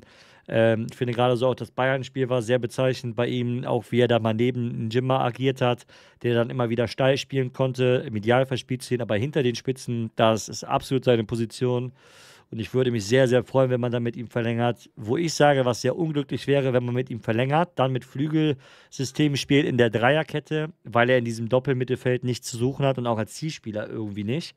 Das heißt, das wäre schon sehr bitter. Ähm, ich würde dann nur für ihn hoffen, wenn er da dann trotzdem wäre, dass man im Grunde genommen auf ihn baut als Zielspieler, den aber dann abkappen spielen lässt. Das heißt, er lässt sich fallen und spielt dann die Bälle auf die Außen, auf die Flügel sozusagen, die dann direkt äh, den Zug zum Tor suchen und eben nicht auf Flanke Stürmer gehen. Auch das ist ja eine Option, aber ich sehe es als sehr, sehr schwierige Personalie an. Wie gesagt, je nach System, was man macht. Ne? Aber Woltemade bei einem anderen Bundesligisten, der dann da auf die 10 geht, ich glaube, das könnte für uns sehr, sehr bitter werden, zu sehen, wie er dann da aufblüht. Dann machen wir noch. Hä? Eine Frage noch, ich habe mal eine andere Frage. Wo du die Seite gerade aufhast von transfermarkt.de. Welcher Holzkopf kommt denn auf die Idee, den als Mittelstürmer zu sehen bei Ja, transfermarkt.de, das wenn ich steht mal da ja fragen schon. darf? Das steht da schon länger. Das ist so, bei Also- manchen Positionen, die sind dann, stehen auch manchmal so die ersten Positionen von den Leuten, deswegen ist so. Aber ja. Äh, Grünewald. Und wie sieht's mit Ole Hess? Grünewald. Behalten oder weg? Gerd, Grünewald. Sag Du vermischst Grünewald. gerade Grül, du vermischst gerade Grül, der übrigens Grül heißt. Ich sag Grünewald. Grünewald. Ich sag Grünewald. Grünewald. Hubertus. Hubertus Artikel Deichstube. So, Hasenfuß. also. Was sagt er denn? Tja. Ja, kurz War schon ein bisschen. Chaos, ne? Etwas ist faul im Staate Osterdeich. Ja, also für die Leute, die jetzt gar nichts mitbekommen haben, also es gab einen Deichstum-Artikel, die laut Werder, kann ich ja schon mal vorweg sagen, äh, einige Anschuldigungen gegeben haben, ähm, unter anderem, dass Hubertus bei wichtigen Entscheidungen untergetaucht ist oder in einer wichtigen Entscheidungsphase war er auf einmal weg, war nicht erreichbar. Ähm, ja, ist einfach untergetaucht, äh, hatte sich irgendwie zwei Wochen nicht gemeldet und dann kam er wieder. Ähm, von, von Werder-Seiten wurden alle Entschuldigungen, also alle Anschuldigungen äh, abgewichen. Äh, da hat man die, die, ja, klassisch sich praktisch vorhin gestellt, hat sich aber auch sehr, sehr betrübt gezeigt über den Deichstuben-Artikel. Ähm, deswegen auch da wieder, das war für mich auch nochmal so ein, so ein Ding, weil das jetzt hin und her ging. Vielleicht auch deswegen die, dieses, äh, dieses Statement zu Cater und zu Duksch auf einmal äh, nichts zu lesen über Duksch, auf einmal ganze Seite voll mit Cater und negativ und äh, so weiter. Also es war schon irgendwie, weiß ich nicht. Aber ja, aber- zu- aber zu nicht Hubertus. Ja, ja, ich sag ja, zurück zu glaube- Hubertus. Warte mal, Dino! Genau. Mein Gott, ich muss dich hier gleich muten. So, lass mich jetzt hier reden. Also, ähm, zurück zu Hubertus. Äh, er ist nicht nur untergetaucht, sondern er soll wohl auch wichtige Entscheidungsprozesse ähm, verlangsamen. Das heißt, auch gerade bei Erneuerungen, bei neuen Themen ähm, soll er sich wohl immer wieder quergestellt haben. Auch den Prozess bei Frank Baumann hat er wohl stark verlangsamt. Werder hat alles von sich gewichen oder von Hubertus gewichen. Und daraufhin hat die Deichstube nochmal ein Statement gemacht und hat gesagt, die bleiben bei ihren Aussagen, haben das Ganze dann nochmal erklärt, dass ja, das mit Hubertus zwar stimmte, aber, also mit dem, wo er weg war, aber eben, äh, dass es eine Kommunikation zwar vorher gab, dass er weg war, aber eben währenddessen war er trotzdem nicht erreichbar, obwohl eben eine, ein wichtiger Prozess lief. Und auch bei allen anderen Themen ist die Deichstube bei ihren Anschuldigungen geblieben und hat am Ende das in Anführungszeichen so gemacht äh, oder so nach außen kommuniziert, dass 2026 weiter das Ziel bleibt, Hubertus abzulösen und deswegen, also zwischen den Zeilen jetzt von mir gesprochen, deswegen wahrscheinlich Werder sich vor ihm stellt, äh, damit man eben bis 2026 diesen Weg vernünftig geht und dann aber sozusagen ein Nachfolger auf ihn folgt und er nicht verlängert wird. So, jetzt eure Meinung. Dino, jetzt darfst du. Ich, ich muss einmal kurz reingrätschen, sei es mir tut, Dino, es tut mir leid. Ähm, ich muss echt mal eine Lanze brechen für die Deichstube. Äh, ich habe in letzter Zeit bin ich die Deichstube scharf angegangen, weil ich der Meinung war, dass sie echt äh, unterirdisch berichtet haben, vor allem auf dem Testspiel und vorher auch teilweise. Sehr Werder-like und in die Richtung, äh, ja, alles ist gut, wie es läuft. Und da war ich sehr, sehr kritisch. Hier muss ich aber sagen, ich kenne die Deichstube eigentlich nur so, dass es ein seriöses Blatt ist. Also die werden, würden sowas nie rausbringen, meiner Meinung nach, wenn das nicht, wenn das wirklicher Wahrheit entbehren würde. Die haben da sicherlich recherchiert. Und bevor die sowas raushauen, so ein Artikel, der sicherlich einiges äh, auslösen wird, werden die sich gewaltig überlegen, ob sie das machen und gut recherchiert haben. Und einfach nur was raushauen, um zu sagen, ach, das ist so, kann ich mir beileibe nicht vorstellen. Ja, die Wahl wird wahrscheinlich in der Mitte liegen irgendwo. Ja, aber Dino, hattest du eben die Glücksritter zitiert am Anfang? Etwas ist faul im Staate Österreich? Nee, das ist äh, tatsächlich Shakespeare Hamlet, aber die Glücksritter werden das sicherlich auch benutzt haben. Ja. Ähm, meine, meine, also ich finde ja, sowas ist das Salz in der Suppe eines Fußballfans. Ne? Wenn so House of Cards Machenschaften an die Öffentlichkeit dringen, ist ja halt das absolut gefundenste aller Fressen für Klatsch und Tratsch und äh, was man gerne möchte. Ich finde, äh, also ich bin ja hundertprozentig, wie hoffentlich auch alle, dass dieser Werder-Filz nicht irgendwie eine Illuminatenverschwörung ist, sondern dass es halt natürlich einfach besteht, weil wir hier von einem Millionenunternehmen reden, das so vereinsmeierisch geführt wird. Und jetzt haben wir gerade eine Situation, wo so frischer Wind von einer Seite kommt und die alten Schiffe sich so ein bisschen murrend im Hafen gegeneinander reiben und Hubertus also auch die Deichstube zähle ich sozusagen zu, ne, als Player dazu, weil die Deichstube ist ja eigentlich ein Provinzblatt. Ja, das ist Provinzjournalie, die sind für einen Werder-Verein, also für einen Verein zuständig, die sind auch abhängig von diesem Verein, äh, weil ohne den Verein gibt es ja deren Content nicht. Das heißt, die müssen eigentlich immer so einen Deal machen. Ich bin auch ein sehr scharfer Kritiker, weil ich finde, teilweise reden die nach dem Mund und so. Und deswegen hat mich das mega überrascht. Warum wird das gemacht? Und ich gebe dir recht, Holger, einerseits müsste das eigentlich gut recherchiert sein, aber wir sind ja hier ein bisschen wie beim Musikantenstadel. Ne? Wir sind ja nicht im Bundestag oder sonst wo, wo tatsächlich irgendwie, sondern wir sind hier Werder und äh, Beyond Knips und hast du nicht gesehen. Und die Sachen, die Nico noch nicht erwähnt hat, so gerüchtemäßig, ich weiß nicht, ob die bestätigt sind. Also einerseits ähm, im Prozess um Clemens Fritz, wo wir alle gesagt haben, der wird hundertprozentig und plötzlich wird noch ein Schicker reingespült soll es halt so gewesen sein, dass die anderen Bewerber so einen Compliance-Test von so einer Managementagentur, die extra noch Beauftragte machen mussten, Fritz aber nicht. Was sozusagen den Anschein erweckt, dass jemand wie Hubertus gesagt hat, wird auf jeden Fall Fritz und wir machen jetzt aber noch so ein bisschen, dass es so aussieht so. Und die andere Sache, die ich mega krass finde, wenn sie denn stimmen sollte, ja, das ist jetzt hier Label Gerücht, aber es ist Stammtisch und Gossip Time, whatever, dass die Ulrike Hiller, Haller, Staller im Aufsichtsrat. Diese Frau, die ja angeblich gesagt hat, sie wisse nicht mal, was ein Aufsichtsrat macht oder ein Vorstand. Ähm, die ist angeblich die Lebensgefährtin. Das würde halt, das wäre so crazy von Hubertus. Das wäre einfach so Next Level Game of Thrones, weil dann siehst du einfach diesen Clash zwischen Altwerder und potenziellen Neuwerder. Und da werden gerade so Kämpfe geführt, die irgendwie Fritz im Sattel lassen, aber plötzlich in der Winterpause Skellys anspülen. Macht auf jeden Fall Spaß. Ähm, gern. Ich glaube, eine Sache hast du aber vertauscht. Fritz, äh, diese ganze Fritz-Thematik sei wohl eher gegen Grünewald. Also äh, ich glaube nicht, dass Grünewald da pro Fritz mäßig, also schon, bei der Entscheidungsfindung schon, da schon. Aber ich glaube, dass bei in Sachen, ich sag mal, Neuaufstellung, Neuausrichtung, die so eher aneinander vorbeigehen. Also Hubertus will ja wohl eher die Sachen, alles so nach dem Motto, alles bleibt so wie es ist.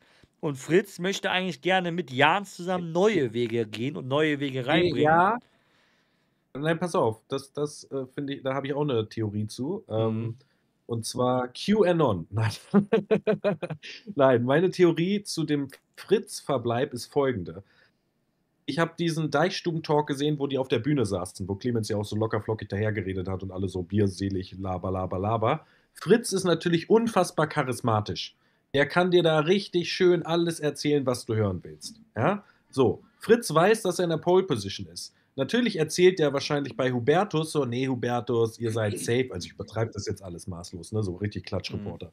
Nee, Hubertus, ihr seid safe, so, ich mache das, ich führe Frankies, ihr müsst euch um nichts sorgen. Ich verstehe schon, dass die Investoren was Neues wollen, aber gib mir mal den Job, gib mir mal den Job. Dann hat er den Job und dann sagt er natürlich für die Fans und die anderen sagt er so, yo, also was ja auch gut ist, will ich ja auch hören, äh, Windschatten Europa, weißt du, der weiß halt, wie man das spielt. Und als ich diese Deichstube gesehen habe, wurde mir sofort klar, wenn du so jemanden hast wie Fritz, der dir schön reden kann und so, und dann kommt plötzlich ein Schicker von außen, dann wirkt das erstmal, wir wissen nicht, wie eloquent Schicker ist, so, sondern du hast da einen Fritz, bei dem weißt du schon, was du kriegen kannst. Selbst als Investor und als Aufsichtsrat Harms Ohlmeier und so weiter, weißt du, was du. Du kannst mit Fritz arbeiten. Weil die Investoren sind zufrieden so, wir haben noch Jans dazu und Fritz, den kriegen wir schon, der macht schon jetzt nicht zu crazy Sachen. Und dann einigen sie sich halt alle so auf Fritz, so, weißt du? Weil es die easy Option ist. Also Langfristig ich- wird es dann noch rappeln. ich aber versuchen sie glaube- Humbertus ja jetzt raus. Ich sag dir, ich glaube, so wie ich das mit Fritz einschätze, will der neue Wege gehen. Glaube ich. Und ich glaube auch, dass, der, äh, dass das sehr interessant noch wird mit seinen paar Alteingesessenen, unter anderem äh, Hubertus, ähm, weil das aufeinander kracht. Also ich habe ja, ich, wie gesagt, ich, ich bin sehr, sehr gespannt, äh, was das angeht. Ähm, man hört auf jeden Fall so aus der Ecke, da wo auch die, die Büros nebeneinander sind und so weiter, von den Scouts, Jans, Fritz, die sitzen ja alle, sind alle im Flur sozusagen nebeneinander. Ähm, ich glaube, dass diese Ecke sich sehr, sehr gut versteht. Ich glaube, dass diese Ecke ähm, andere Wege gehen will als vielleicht der ein oder andere Bremer, aber, also die schon länger da sind. Aber das ist, wie gesagt, sehr spekulativ alles, das ist auch klar. Fakt ist, die Deichstube hatte diese Anschuldigung gemacht. Werder hat die von sich gewichen. Das heißt, derzeit muss man oder kann man davon ausgehen, dass vielleicht auch nichts dran war. Vielleicht aber eben auch schon, weil die Deichstube danach eben noch mal einen Artikel gemacht hat. So. Aber das wäre halt crazy. Ja, es wäre absolut die crazy. Die Hand, die sie füttert, Ja, ja, ja. So, ja, du? das, deswegen ja. Des, nee, deswegen hat mich das ja auch Björn allgemein. Fritz ist ein Che Guevara. Ich habe es hier Guck mal, zuerst gesagt. eigentlich ist es so, dass allgemein das sehr verwunderlich war, dass ausgerechnet die Deichstube diesen kritischen Artikel verfasst hat. Ähm, und das eben dann auch, das war ja auch krass, ne? Das- Das stand ja dann auch drin, ne? Auch nachdem dann gesagt worden ist, so und so sieht das aus, und die Deichstube, wo er gesagt hat, ja, ist egal, wir bringen den Artikel trotzdem raus. Also sich dann praktisch widersetzt hat. Und auch dann Werder ja gesagt hat, ne? Ähm, da, darunter verstehen die keine Zusammenarbeit etc. Also ich kann mir vorstellen, dass das intern schon auch gut geballert hat. Deswegen sage ich ja auch, war wahrscheinlich nach diesem Fazit von dem Testspiel und so weiter auch so vieles in eine ganz andere Richtung. Auf einmal ähm, wird da gar nicht erwähnt, dass Cater die ersten 30 Minuten gut gespielt hat, sondern es wird alles schlecht geredet von Cater. Der wurde noch nie so schlecht dargestellt wie nach dem Artikel, als ob man vorher noch kein Training, kein Spiel gesehen hat. Deswegen habe ich das übrigens auch vorher mit reingebracht. Ähm, und gleichzeitig dann äh, Duxch nicht einmal zu erwähnen, das finde ich immer noch krass. Nach diesem Testspiel nicht einmal Marvin Duxch zu erwähnen, so, der ein unfassbar schlechtes Spiel gemacht hat, war für mich schon ganz, ganz crazy. Und deswegen bin ich auch sehr gespannt, wie die nächsten zwei, drei Artikel sozusagen von der Deichstube werden, weil, wie gesagt, ich glaube, dass es da ein bisschen geknallt hat. Und man muss Ich ja eine Sache festhalten, Werder äh, arbeitet ja schon eng mit der Deichstube zusammen. Egal, wo ein Werder-Event ist, wo was ist. Die Deichstube wird immer vor Ort positioniert, die ist mit in den Trainingslagern, die ist, äh, kriegt die Interviews mit den Spielern, darf im Ist Stadion so drehen. Das ist, ja. Ist aber so ein bisschen Hassliebe, weißt du? Ja, Weil ich glaube, so auch. Leute wie der Deichstube, die wollen eigentlich richtige Reporter sein, ne? Also und sind halt quasi abhängig von dem Verein. Deswegen sehen wir auch, haben wir ganz lange gesehen. Ich glaube auch Leute wie du, so YouTuber, auch, dass das jetzt vermehrt auftritt. Druck äh, macht auch nochmal mehr sozusagen Öffentlichkeitsdruck, den Bremen ja nie aus der Presse hat, weil wir halt so graue Maus sind. Aber in der Werder Community kommen ja halt solche Stimmen jetzt immer durchlässiger hervor. Ja, jetzt fängt so ein Marvin Duksch an, irgendwie äh, durchzudrehen, weil die Presse und so weiter und so fort. Und das, glaube ich, spielt schon ähm, bei vielen Sachen eine Rolle, weil die Deichstube durfte auch nie wirklich krass kritisch nachfragen. Wir haben immer so, wie, wie Clemens dann guckt, wenn da irgendwas kommt, oder auch diese Unsouveränität halt, wer hat das geschrieben? Wer hat das geschrieben? Nö, habe ich nicht gelesen. Das ist ja schon so ein bisschen so Schulhof-Brust raus, so, ne? Nicht, Ja. dass ich das nicht will als Fan und das geil finde, wenn sowas passiert. Ich habe lieber einen Max Kruse als irgendwie einen äh, mediengecoachten Typen.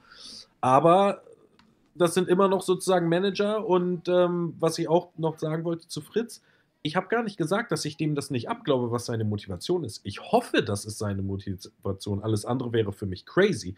Ich habe nur gesagt, wenn er versucht, in den Posten zu kommen, wird das der einen Seite recht machen und wird aber auch sozusagen, weil das Einzige, was ich bei Clemens Fritz zu bemängeln habe, ist weder jetzt so richtig krass auftritt, das ist für mich okay. Man kann so ein bisschen, so gerade am Anfang der Karriere, so ein bisschen so sich aufplustern. Hoeneß ist damit Legende geworden.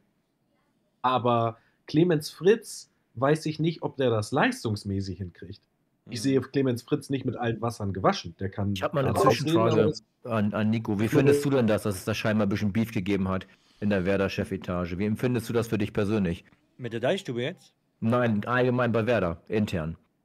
Äh, ich finde es prinzipiell gar nicht mal so verkehrt, dass, es, Ich auch. Äh, dass das auch Ich auf auch. Reibung stößt. Ja. Weil das lässt mich endlich mal so ein bisschen Hoffnung haben, Ja. dass man eben nicht dieses klassische weiter so denken Richtig, hat. richtig, genau das. Sondern eben vielleicht wirklich, äh, und selbst wenn es zwei, drei Parteien nur sind, sind ja da eben nur mal viele vertreten, aber selbst wenn es nur zwei, drei Parteien sind, wenn da wirklich Leute jetzt zusammenhalten, sich zusammengetan haben, um was zu verändern, dann freue ich mich darüber sehr und ich glaube, zumindest in ein paar Bereichen sehen wir das ja schon. Allein wenn wir mal im Scouting-Bereich gucken, A, welche Spieler haben wir im Winter geholt, B, welche Spieler sind so die, die momentan bei uns auf dem Radar auftauchen. Das hat alles nichts mit den letzten Jahren Transferpolitik zu tun. Also Die da, war nicht gut. Genau, und da, ich glaube, da gehen schon die ein oder anderen Zahnräder ineinander und ich glaube, dass sich da was bewegt.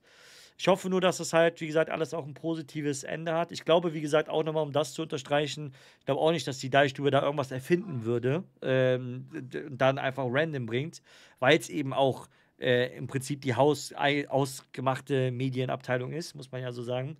Ähm, deswegen, da wird schon irgendwas auch hinter sein. Ich hoffe nur, wie gesagt, dass das alles am Ende eine positive Wirkung für Werder hat. Ähm, spannend wird es halt sein, wie gesagt, wie jetzt zum Beispiel so ein Knackspiel wie gegen Wolfsburg angegangen wird, weil das schon extrem wichtig ist. Also diese Wichtigkeit vom Wolfsburg-Spiel, ich weiß nicht, ob ihr es gesehen habt, ich habe gestern auch nochmal ein Video gemacht mit Tabellenrechner ähm, und vor zwei, drei Tagen, wo wir live waren, haben wir am Ende auch nochmal so ein paar Varianten durchgetippt. Habe aber mal bei, ein paar Kumpels von mir jetzt geguckt, wie die so durchgetippt haben. Also das Wolfsburg-Spiel ist echt ein Knackspiel, auch für die nächsten Wochen, mit was für einer Einstellung du da rausgehst und da reingehst, vor allen Dingen auch, ähm, ist für mich enorm wichtig. Und jetzt mit drei Sperren, Weiser, äh, Stay und Linen, musst du auch noch automatisch anderen Leuten eine Chance geben, sozusagen. Das ging bei Werder ja eigentlich in der Vergangenheit immer ganz gut, muss man sagen, weil man dann eben neue Leute positionieren konnte. Die Frage ist, wer kriegt da die Chance? Ich würde das auch gerne übrigens noch zum Abschluss einmal mit reinmachen. Äh, Rechtsverteidiger brauchen wir uns ja nicht groß unterhalten, wird Agu reingehen, links Demann. Ich glaube, da können wir alle einmal einen Haken dran machen, oder? Würde ich sagen, ja. Ja. Und dann Mittelfeld, das wird jetzt spannend. Wie, wie, wie seht ihr Mittelfeld plus vorne? Äh, Also ich habe da eine Idee, aber die ist ja nicht realistisch. Äh, äh, wollen wir jetzt oder diskutieren wir jetzt darüber, was über die Aufstellung, die wir uns wünschen, oder die, die wir am wahrscheinlichsten halten? Mach mal sowohl als auch. Ja, also ich, äh, ich dann fange ich mal an. Also ich will, also was ich mir wünsche, ist halt tatsächlich die Viererkette. Ähm, und dann würde ich in der Innenverteidigung Jung und Pieper hinstellen. Ähm, vorausgesetzt, Pieper ist, äh, ist halt komplett fit, aber gehe ich jetzt mal von aus. Äh, dann würde ich eine äh, Doppel, also eine Doppelsechs spielen lassen, davor drei Leute und dann ein Stürmer, also das ist dann 4-2-3-1. Würde ganz vorne Jinma hinstellen äh, als tiefen Spieler. Ähm, auf der Doppelsechs würde ich mit Alvero beginnen und mit Christian Groß tatsächlich. Ich hatte mal überlegt, ob Kader das machen kann, aber das würde ich deshalb nicht machen, weil ich mit Groß und Alvero da ähm, äh, ähm, einmal halt einen Holzhacker habe mit, mit Groß, der halt die, die ersten 35, 40 Minuten alle umtreten kann und dann zur Halbzeit gelb-rot gefährdet äh, für Cater ausgewechselt wird. Äh, und dann eben ähm, in der ersten Halbzeit groß halt alle hinten umsetzt und Alvero dann ein bisschen was nach vorne machen kann. Und dann würde ich ähm, im Mittelfeld, äh, in der Mitte würde ich Voltemade packen und dann links Schmid und rechts Hansen. Aber das wird halt so nicht, so halt nicht passieren. Äh, das ist aber halt das, was ich mir wünsche. Und ich, äh, das, das, was ich glaube, ist halt einfach, dass die Fünferkette halt hinten drin bleibt. Ähm, äh, mit äh, Jung Pieper Velkovic. Äh, Velkovic dann in der Mitte und äh, auf der 6 dann ähm, eben Alvero spielt und dann äh, Schmid, Jinma Dux. Oder, und den letzten weiß ich nicht. Da hätte jetzt vielleicht auch Woltemar dem hingepackt, aber jetzt kann er erstmal die anderen. Tja, also ich denke, dass Friedel wieder fit werden wird. Zeichnet sich wohl ab, dass er diese Woche wieder voll mittrainieren wird. Rechtzeitig. Und ich schätze, er wird auch rechtzeitig fit werden zum Spiel. Das würde Ole Werner wieder in die Position setzen, dass er auf seine Dreierkette setzen kann, was er auch tun wird, denke ich. Ähm, er wird dann wieder auf links äh, vermutlich äh, Jung setzen, in der Mitte Friedel und rechts dann wieder Malatini oder ähm, äh, Pieper reintun. Ähm, rechts und links sollte klar sein. Davor würde ich wirklich ganz gerne mal Alvero sehen auf der 6 zusammen mit Kate, aber ich habe das Gefühl, die beiden funktionieren gut zusammen. Dieses Zusammenspiel aus vorne, Impulse aus Cater, der die Bälle verteilt, zu Toni Kroos Quarterback-mäßig und ein Alvero dahinter, der absichert, das kann gut funktionieren zusammen. Dann wird auf jeden Fall Schmid wieder reinkommen. Schmid ähm, blüht total auf, gerade bei den Österreichern in der Nationalmannschaft. Ähm, der ist richtig gut drauf. Ich denke mal, der wird auch mit Rückenwind zurückkommen zu uns. Und er wird auf jeden Fall spielen. Jinma wird auf jeden Fall spielen. Ich wünsche vorne auch drin. Ja, jetzt, das tut mir wieder weh, das zu sagen, aber ich, Ole Werner wird wieder auf, Ole, auf seinen Lieblingsduxi setzen, der wieder mal reingeschissen hat im Testspiel ohne Ende und seit Wochen auch nur Nichtleistungen zeigt, aber er kann da nicht gegen an. Er hat scheinbar einen Ehevertrag mit ihm privaten, von dem wir nichts wissen. Ich habe keine Ahnung. Wird auf jeden Fall spielen und ähm, klärt mich auf, habe ich einen vergessen auf links. Ähm, ja, vielleicht wird er offensiv dann mal, weiß nicht, wen er dann bringen kann. Vielleicht kommt er mal auf die Idee, dass er hängen, vielleicht ein Voltemade spielt. Viel mehr Optionen hat er ja aktuell auch nicht. Ne? Das wäre so meine Startaufstellung. Also ich glaube, dass es ungefähr so aussieht, wie ich gerade aufgebaut habe. Eventuell ausklammern Pieper, weil man da, der, der am fittesten ist, wird wahrscheinlich die, die Position einnehmen. Eventuell auch Pieper und Friedel und Malatini raus, könnte auch sein. Aber Zetter am Tor, Jung, Pieper, Malatini. Doppelsechs, Bittenkurt, Alvero. Demann, Agro über links und rechts. Njimma, Dux, Romano Schmid vorne. So wie auch in den letzten Was meinst du, Wochen. ist wirklich Ich glaube, dass, Case, ja? ich glaube, dass das passiert, ja, genau so. Du, Ja, also, als also? Aber auch das, was du willst oder das, was du denkst, was Werner macht? Du, wenn wir danach gehen, was ich will, dann steht hier Bittenkurt nicht drin. Okay, und wer- wer Tatsächlich. ist denn Alternative? Aber wer ist da die Alternative? Ich, wen ich bringen würde, anstatt Bittenkurt, Also wen- im Kader meine ich jetzt. Ich habe es nicht gerafft, wer alles fit ist oder wer spielen kann. das, äh, das, das ist ja genau das Problem. Dadurch, dass die ganzen Sperren da sind, Aaren oder was? Genau, das ist die einzige andere Möglichkeit. Also, Ja. dass du im Prinzip, Oder pass auf, Woltemade, ne? ja, ja, klar, Woltemade. Könntest du auch, aber Ja, ja, jetzt mal, guck mal jetzt hier, ich weiß nicht, ob ihr das jetzt gleich schon seht, aber ich baue das jetzt Ganze mal um, wenn wir wieder in den Doppelsturm gehen, statt in dieses Dreierding und dann eben das Ganze so spielen.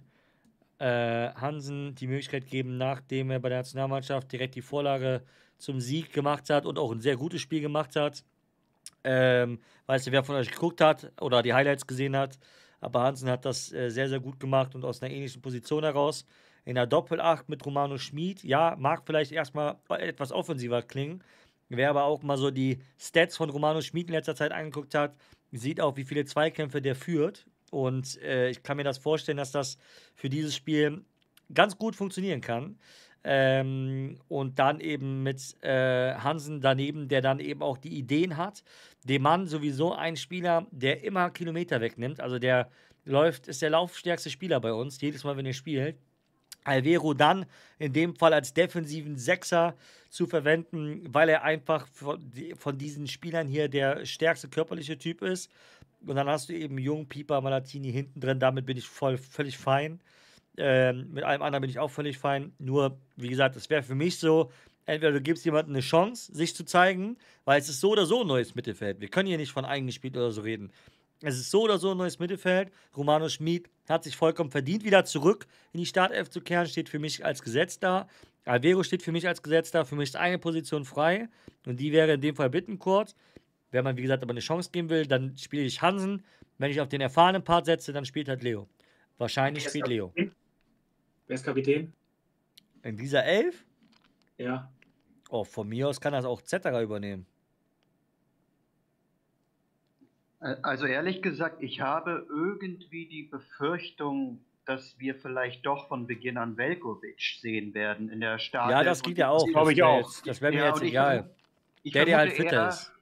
Ja, ich vermute eher, dass Pieper oder Friede eher als Einwechselspieler äh, reinkommen. Daher wäre auch der Kapitän wahrscheinlich äh, Velkovic. Nicht, dass ich dafür bin, aber ich befürchte Nö, ist ja okay. Ja. Ja, Das und dann ja. Mittelfeld, also ich glaube auch, Alvero wird äh, spielen, Romano Schmid spielt auch, Bittenkurt wird bestimmt äh, auch spielen, er wird auf Erfahrung setzen in einem so wichtigen äh, Spiel. Aber für mich ist eher die Frage, mit was für einer Einstellung gehen wir ins Spiel? Sehen wir wieder ein passives Werder Bremen von Beginn an, so wie, in, äh, so wie bei Union Berlin oder gegen Dortmund, oder sehen wir ein aktives Werder Bremen, weil ich bin mir sicher, Wolfsburg wird erst einmal auf Stabilität setzen mit einem neuen Trainer und dann sich nach vorne wagen. Und da bin ich echt gespannt, wie wir es machen werden, weil eigentlich können wir uns nicht im eigenen Stadion gegen eine Mannschaft, die elf Spiele sieglos ist, von Beginn an wieder nur hinten reinstellen und hoffen, dass wir irgendwie vorne durch Zufall in Führung äh, gehen und dann das verwalten. Das kann eigentlich nicht unser Anspruch sein, befürchte ich aber irgendwie auch ein bisschen. Ja. Ja, Also der. Unterschied zu der zu dieser Dreierspitzenaufstellung gegenüber Hansen. Also hat irgendjemand Hansen gesehen bei der U21? Ja, ich. War gut. Sah gut aus? Aber was auch mit der Körperlichkeit? Ich hätte ja Der bei Hansen top. einfach so das. Nein, der ist top. Der Auch bewegt. viel Guck zu mal, steif, ihr müsst, ihr müsst mal gucken auf die Bewegung. Ich sag ja, es wird geil sein, sobald der mal. Aber auch gegen so einen Anthony Brooks oder was? Ja, der, der, der wird gar nicht in den Zweikampf kommen. Der spielt den vorher aus. Der ist technisch wahrscheinlich einer, der mit dem meisten Potenzial, also technisch, rein vom Passlevel her, von, von den Wegen in die Tiefe, ähm, vom, vom Umschaltmoment, Reaktionsgeschwindigkeit, der wird gar nicht in den Zweikampf kommen. Also ich sehe es ähnlich wie Holger, dass durch den Hasenhüttel-Effekt und die eigentliche Kaderstärke, die Wolfsburg hat, wir uns da richtig warm anziehen müssen. Spielen wir zu Hause? Ja. ne? Ja. Auch noch dazu, wir sind absolut keine Heimmacht momentan, ähm, trotz unfassbarem Support. Und ähm, das, was so mit Bittenkurt, Alvero und diesem Dreiersturm sieht für mich so unfassbar löchrig aus, wenn ich mir vorstelle, dass äh, die dann, äh, Gott sei Dank ist Wimmer gesperrt, wenn die da auf uns zurollen äh, mit dieser löcherigen IV, ähm, dann hätte ich tatsächlich lieber eine offensive Aus, also nicht eine offensive Ausrichtung, aber eine mutige Ausrichtung. Und ich finde diesen Zweiersturm mit zwei Kreativen und Al Skelly dahinter, Alter, wer nicht wagt, der nicht gewinnt. Aber Ja, das das wird auch. unter OP nie passieren. Da Nee, müssen wir uns nicht. wirklich, haben immer gehofft, immer gehofft, nichts ist. Ja. Ich glaube, dass. Also, äh, Fußball spielen, ich, oder? Guck mal, ich sag, ich, oder? ab, ja, absolut, Holger. Aber ich sag euch äh, wirklich eine Sache, weil ich, ich habe das, das Hansen in die Startelf habe ich schon abgehakt. Das wird eh nicht passieren. Aber das, was ich wenigstens hoffe, ist, dass der reinkommt, dass du diese, diese Chance jetzt nutzt, ähm, nicht jetzt noch ein zweites Länderspiel, dass du die Chance nutzt und den Jungen einfach reinbringst. Nachdem er jetzt in den letzten zehn Tagen zweimal dann gespielt hat, bring ihn rein, lass ihn sich zeigen, werdet am Ende mutig, mach bitte nicht so, dass Was du auf einmal. Der, äh, was? Cater ist nicht. Äh, ist, äh, Doch, Cater ist ja auch, aber Cater ist für mich keine Startelf-Option. Cater wirst du in den letzten 30 Minuten, also denke ich mal, bringen. Oder bringen können auf jeden Fall. Aber wie gesagt, ich mir hoffe. fast vorstellen, dass Werner so denkt. Weißt du, Werner hat ihn jetzt gezeigt über das Testspiel. Werner muss was für die Fans. Ey, ey, ey, Alter, ich, ja, ich weiß es im Prinzip nicht. Ich habe wir das mal. gerade nur festgestellt. Dass Ja. nicht mal von Beginn bis zur Halbzeitpause? Kann ja auch mal sein mit ihm, ne? Dass Ja, er, ja. Wenn man ihn sagt, gib mal du Gas, meinst dann kommst du. 65. Minute. Ja, Werner Entschuldigung, Halbzeit. ja, naja, ja, du hast recht. äh, Für Denkfehler, ja, natürlich. Ja. 65. Minute. Schauen wir mal, was da dann geht. Freunde, wir sind auf jeden Fall beim Ende des Stammtisches. Nächste Woche Montag gibt es den nächsten direkt. Ähm, ich freue mich erstmal sehr, dass ihr alle wieder dabei wart. Wünsche euch jetzt erstmal einen schönen Abend und dann mache ich nochmal eine kleine Ankündigung hier. Also, schönen Abend euch noch. gut gehen. Jo, mach's gut. Schöne Woche. Ciao. ciao. ciao. ciao, ciao. So, und zwar, meine Freunde, habe ich, ich möchte es euch trotzdem schon mal sagen, auch wenn es noch nicht zu 100% feststeht, ich habe aber Bock drauf. Erstmal glaubt ihr, Alvero wird gekauft, 54% sagen nein, 46% sagen ja. Die Umfrage schließe ich jetzt mal. So, äh, erstmal zum Ende hin, äh, die Leute, die jetzt bis hierhin dran geblieben sind, müssen natürlich belohnt werden mit einer Info. Äh, erstmal würde es mich sehr freuen, wenn ihr alle nochmal schnell den Däumchen da oben drückt. Also einmal kurz Daumen da oben rein, ballern. Gerne ein Abo da lassen. Wer noch kein Mitglied ist, gerne mal nachholen oder auch eine Mitgliedschaft verschenken. Ähm, übrigens auch vielen lieben Dank an äh, letzte Woche. Dort gab es mal wieder einen Super Tanks. Äh, die kriegt man ja relativ selten, aber wenn, dann freut man sich immer. Kriegt man nämlich als YouTuber so eine Benachrichtigung dann. Das sehr, sieht sehr cool aus. Vielen lieben Dank an der Stelle nochmal. Habe auch direkt ein Herz dargegeben. Ähm, jetzt folgendes. Und zwar, das Wolfsburg-Spiel wird eventuell so sein. Hört mir zu dass meine Frau den Stream übernehmen wird. Das heißt, es gibt trotzdem den Spieltagsstream. Es steht noch nicht fest. Ich werde es euch am Ende der Woche sagen. Nach dem im Vorbericht zum Wolfsburg-Spiel, das heißt am Donnerstag nach der PK, werde ich euch zu 100% Bescheid sagen können. Okay? Hört mir kurz zu. Samstag übernimmt wahrscheinlich meine Frau den Stream.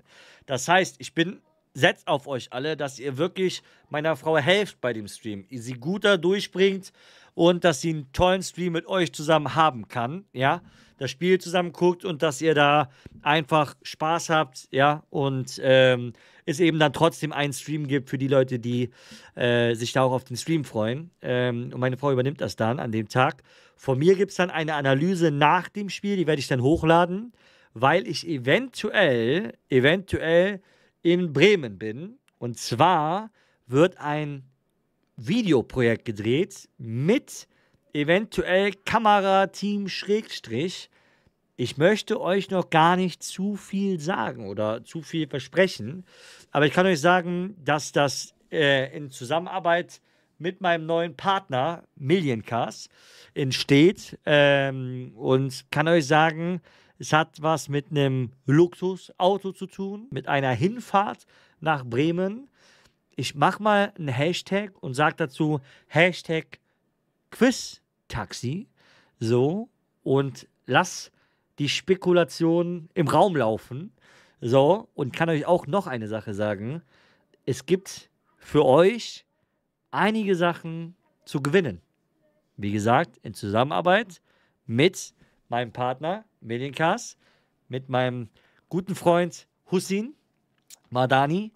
Ähm, und äh, ja, ich würde dann ein, ich sag's mal so, Stadionvlog einer anderen Art euch präsentieren. Der würde dann aber wahrscheinlich erst Sonntag online kommen, weil die Zeit einfach sehr eng ist, muss man so sagen. Also die Zeit ist schon, das ist schon, ja, sehr, sehr sportlich wäre das alles, weil ich Samstagabends oder nachts auch noch nach Hause fahren müsste. Ähm, das ist wie gesagt, alles sehr, sehr sportlich. Ich kann euch aber schon mal den Tipp geben, ja, so, dass ihr das von mir gehört habt, dass ihr bei Millioncast schon mal ein äh, Follow da lässt. Ähm, denn das ist einer der Grundvoraussetzungen natürlich, um bei dem, was dann, was dann kommen wird, sozusagen mitzumachen. Ich schicke euch jetzt schon mal einen Link rein. Wie gesagt, am Donnerstag sage ich euch dann zu 100% alles, auch was es genau ist und so weiter.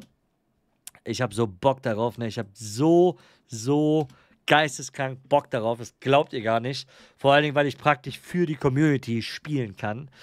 Ah, und da strengt der Papa sich natürlich besonders an. Ich kann euch sagen, es geht auch um, es geht um mehr als zwei Sachen. Es geht um mehrere Sachen. Ne? Und es geht um verschiedene, auch unterschriebene Sachen. Ne? Also, wie gesagt, lasst schon mal ein Follow da bei ähm, Million Cars, bei Madani Cars. Und ähm, alles weitere werde ich euch dann noch sagen, mitteilen. Es ist auf jeden Fall eine geile Sache da geplant. Mit einem ganz anderen Videoformat wird das sein. Also es wird, wie gesagt, qualitativ unglaublich genial werden. Und äh, ja, ich freue mich einfach, wenn das jetzt möglich gemacht wird, dann, wir werden das so abrasieren, Freunde.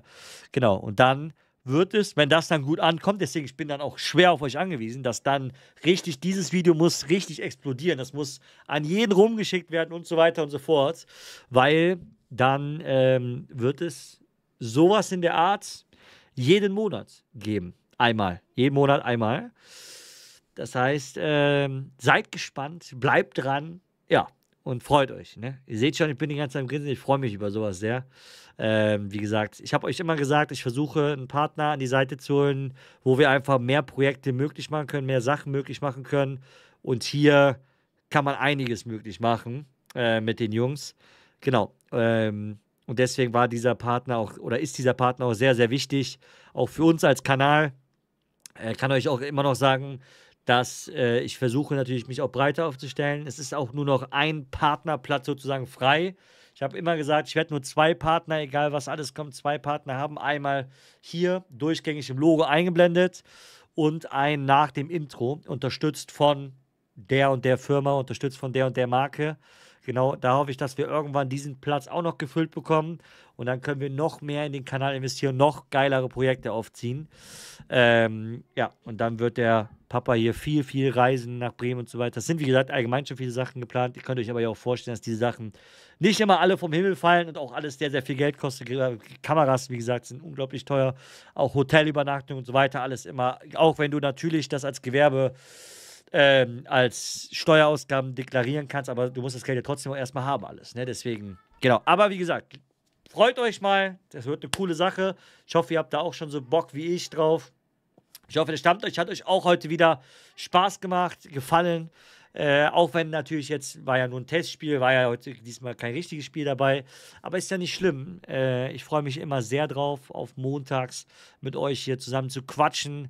Und dann sehen wir uns morgen beim täglichen Video wieder. Bin mal gespannt, ob morgen mal eine neue Werder-Nachricht reinkommt. Heute war ja irgendwie sehr mau, finde ich. Also heute war eigentlich gar nichts groß, äh, so mäßig. Genau, deswegen schauen wir mal. Ich bin jetzt erstmal raus. Ähm, Wünsche euch allen wirklich noch einen wunder wunderschönen Abend. Äh, habt ganz, ganz viel Spaß. Ähm, genau. Und startet weiterhin gut durch die Woche. Äh, dicken Knutscher von mir. Lasst alle nochmal einen Daumen nach oben da, Abo da lassen, Mitglied werden. Und dann bin ich raus. Euer Renico. Ciao.